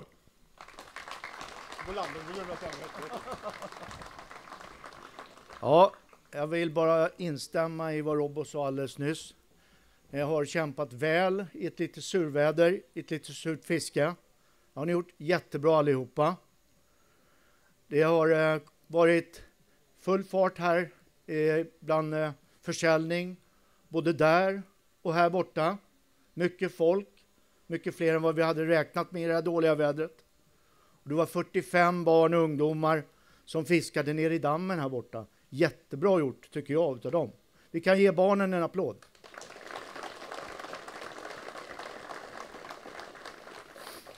Mitt namn är Mikael Molander och jag är tävlingsansvarig på förbundet. Och jag är här idag som förbundsrepresentant och jag kommer också finnas som förbundsrepresentant på sjön Mjörn i Västallingsås nästa år. Idag är det tre team som går härifrån och vet att de har biljett till SM nästa år på Mjörn. Ettan, tvåan, trean har en gratisbiljett. I övrigt så kan man se i SPL-ligan vad som krävs för att komma topp 20. Topp 20 får också möjlighet att vara med på SM nästa år. Förutom det så är det 10% från de DM som har varit och kommer att vara. Då finns det ett DM som jag vill slå ett slag för. På Mjörn den 6 november. För de av er som inte har tävlat på något DM, för man får bara tävla på ett DM-gädda per år. För de som inte har gjort det, fundera på att ta chansen och åka till Mjörn den 6 november för att kvala in till SM. Men det gäller alltså inte tre team som blir kvalade idag på annat sätt. Sportfiskarna har haft lite jobbigt med den här pandemin. Eh, med att få arrangörer till årets DM och därför har de varit ganska få. Vi hoppas att vi ska vara dubbelt så många DM nästa år, för då, nu vet ju arrangörerna om att de faktiskt kan genomföra DM. Det har man inte vetat i år först nu sent på hösten. Så förhoppningen är att vi nästa år kommer upp i runda slängar 50 team istället för dagens 36. Samma sak gäller abborre. Vi var 44 team i Nora för tre veckor sedan och genomförde SM där. Förhoppningen är även med abborre att vi ska komma upp i ungefär 50 team. För de av er som känner någon eller som känner er manade att kanske genomföra ett S eller ett DM i någon av de här grenarna nästa år. Hör av er till mig så ska jag förmedla kontakterna och vi hjälper till givetvis från Sportfiskarna med allt vad vi kan och ni behöver stöd och stöttning i ett genomförande. Tack för mig.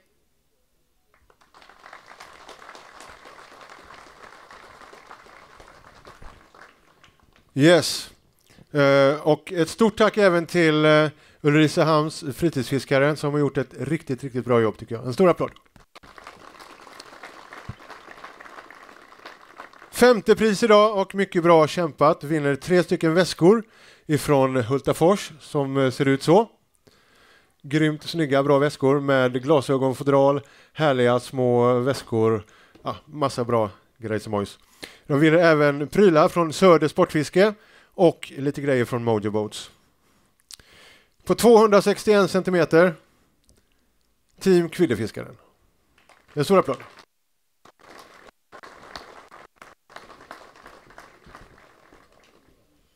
Ni får jättegärna komma upp här så de ser er i kameran också. Ut på live. Välkomna upp. Så nu kan ni ta applåden igen när ni står här uppe då.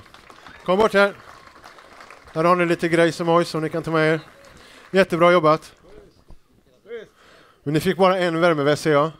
Hoppas jag ni är bra kompisar. Bra jobbat. Grymt! Fjärde pris idag. På fjärde plats.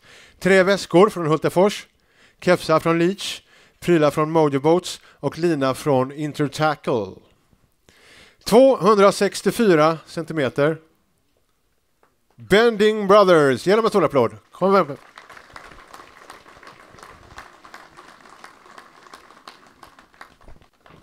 Bra jobbat killar. Är ni trötta? Ni sov i bilen i natt? Ja. Här har ni lite härliga grejer.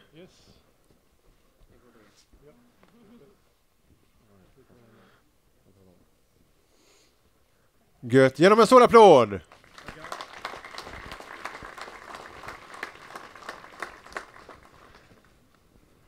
Ja. Och då... Ja. Tredje plats.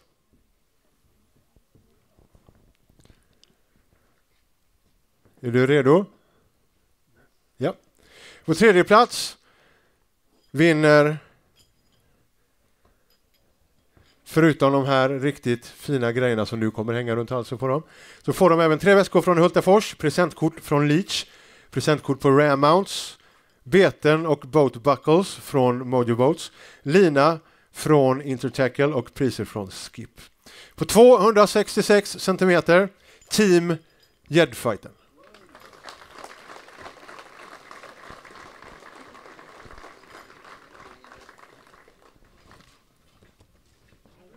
Välkomna hit bort.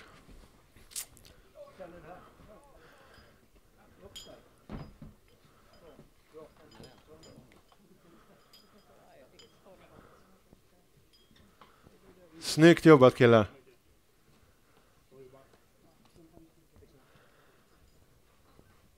Snyggt. Ge dem en stor applåd.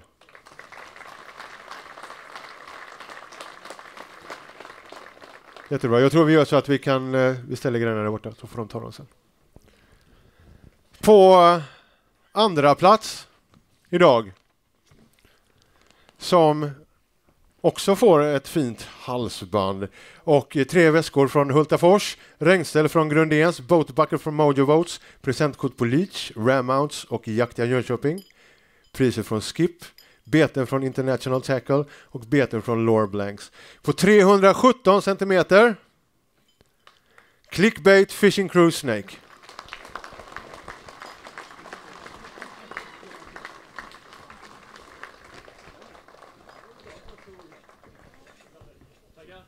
Snyggt jobbat killar. Tackar.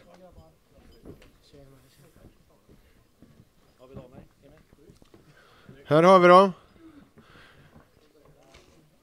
Redan nu har vi sex stycken ståtliga herrar på scen. Om ett litet, litet tag så är ni fler. Yes, är ni redo då? Det är ni alla har väntat på. Första Första pris idag. Ni kommer få uh, ungefär samma grejer med lite mer. Om jag öppnar den här nu så kommer de se vad det står här. Eh, på 348 centimeter. Team Pike and Tats. En stor applåd!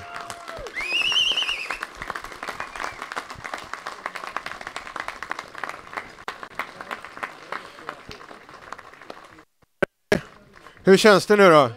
Känns det bra? Känns det bra? Riktigt bra. Ja, var det svårt? Det var tungt. Riktigt bra fiskat.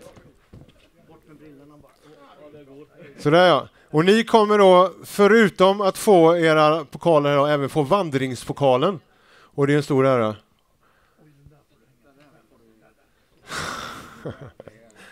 Jättebra jobbat. Sådär ja, då ska vi ge er lite plats så får ni få ta lite bilder och så sen så får ni ta emot lite härliga grejer här. Vi kanske även ska ge dem någonting att eh, skaka sen också. Jag tar och flyttar på min mikrofon så länge. Ge dem en stor applåd!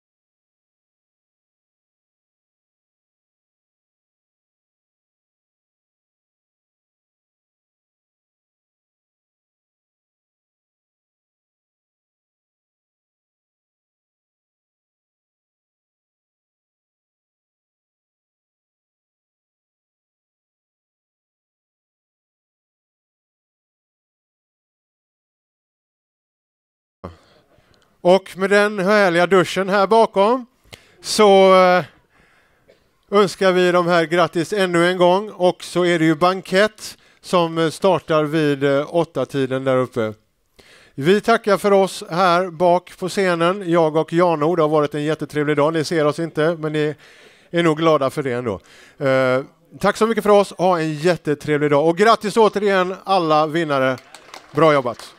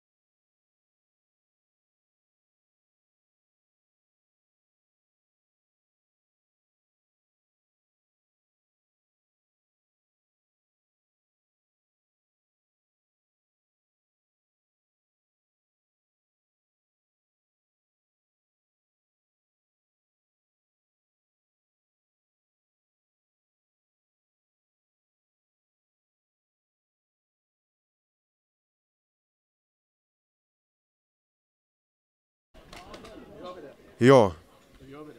Ja. Så, kära vänner. Det var allting från oss här idag på gädde-SM i Ulricehamn. Det har varit jätteroligt. Det har varit sjukt roligt. Det har varit en lång sändning, det har varit en tung sändning, men vi har haft otroligt roligt. Vi tackar alla sponsorer som varit här idag. Vi tackar fritidsfiskarna, vi tackar Ulricehamns eh, fritidsfiskare och vi tackar er som har varit med och velat följa det här. Vi syns snart igen. Det gör vi. Från oss alla. Till er alla. Stort tack. Stort tack. Hej då.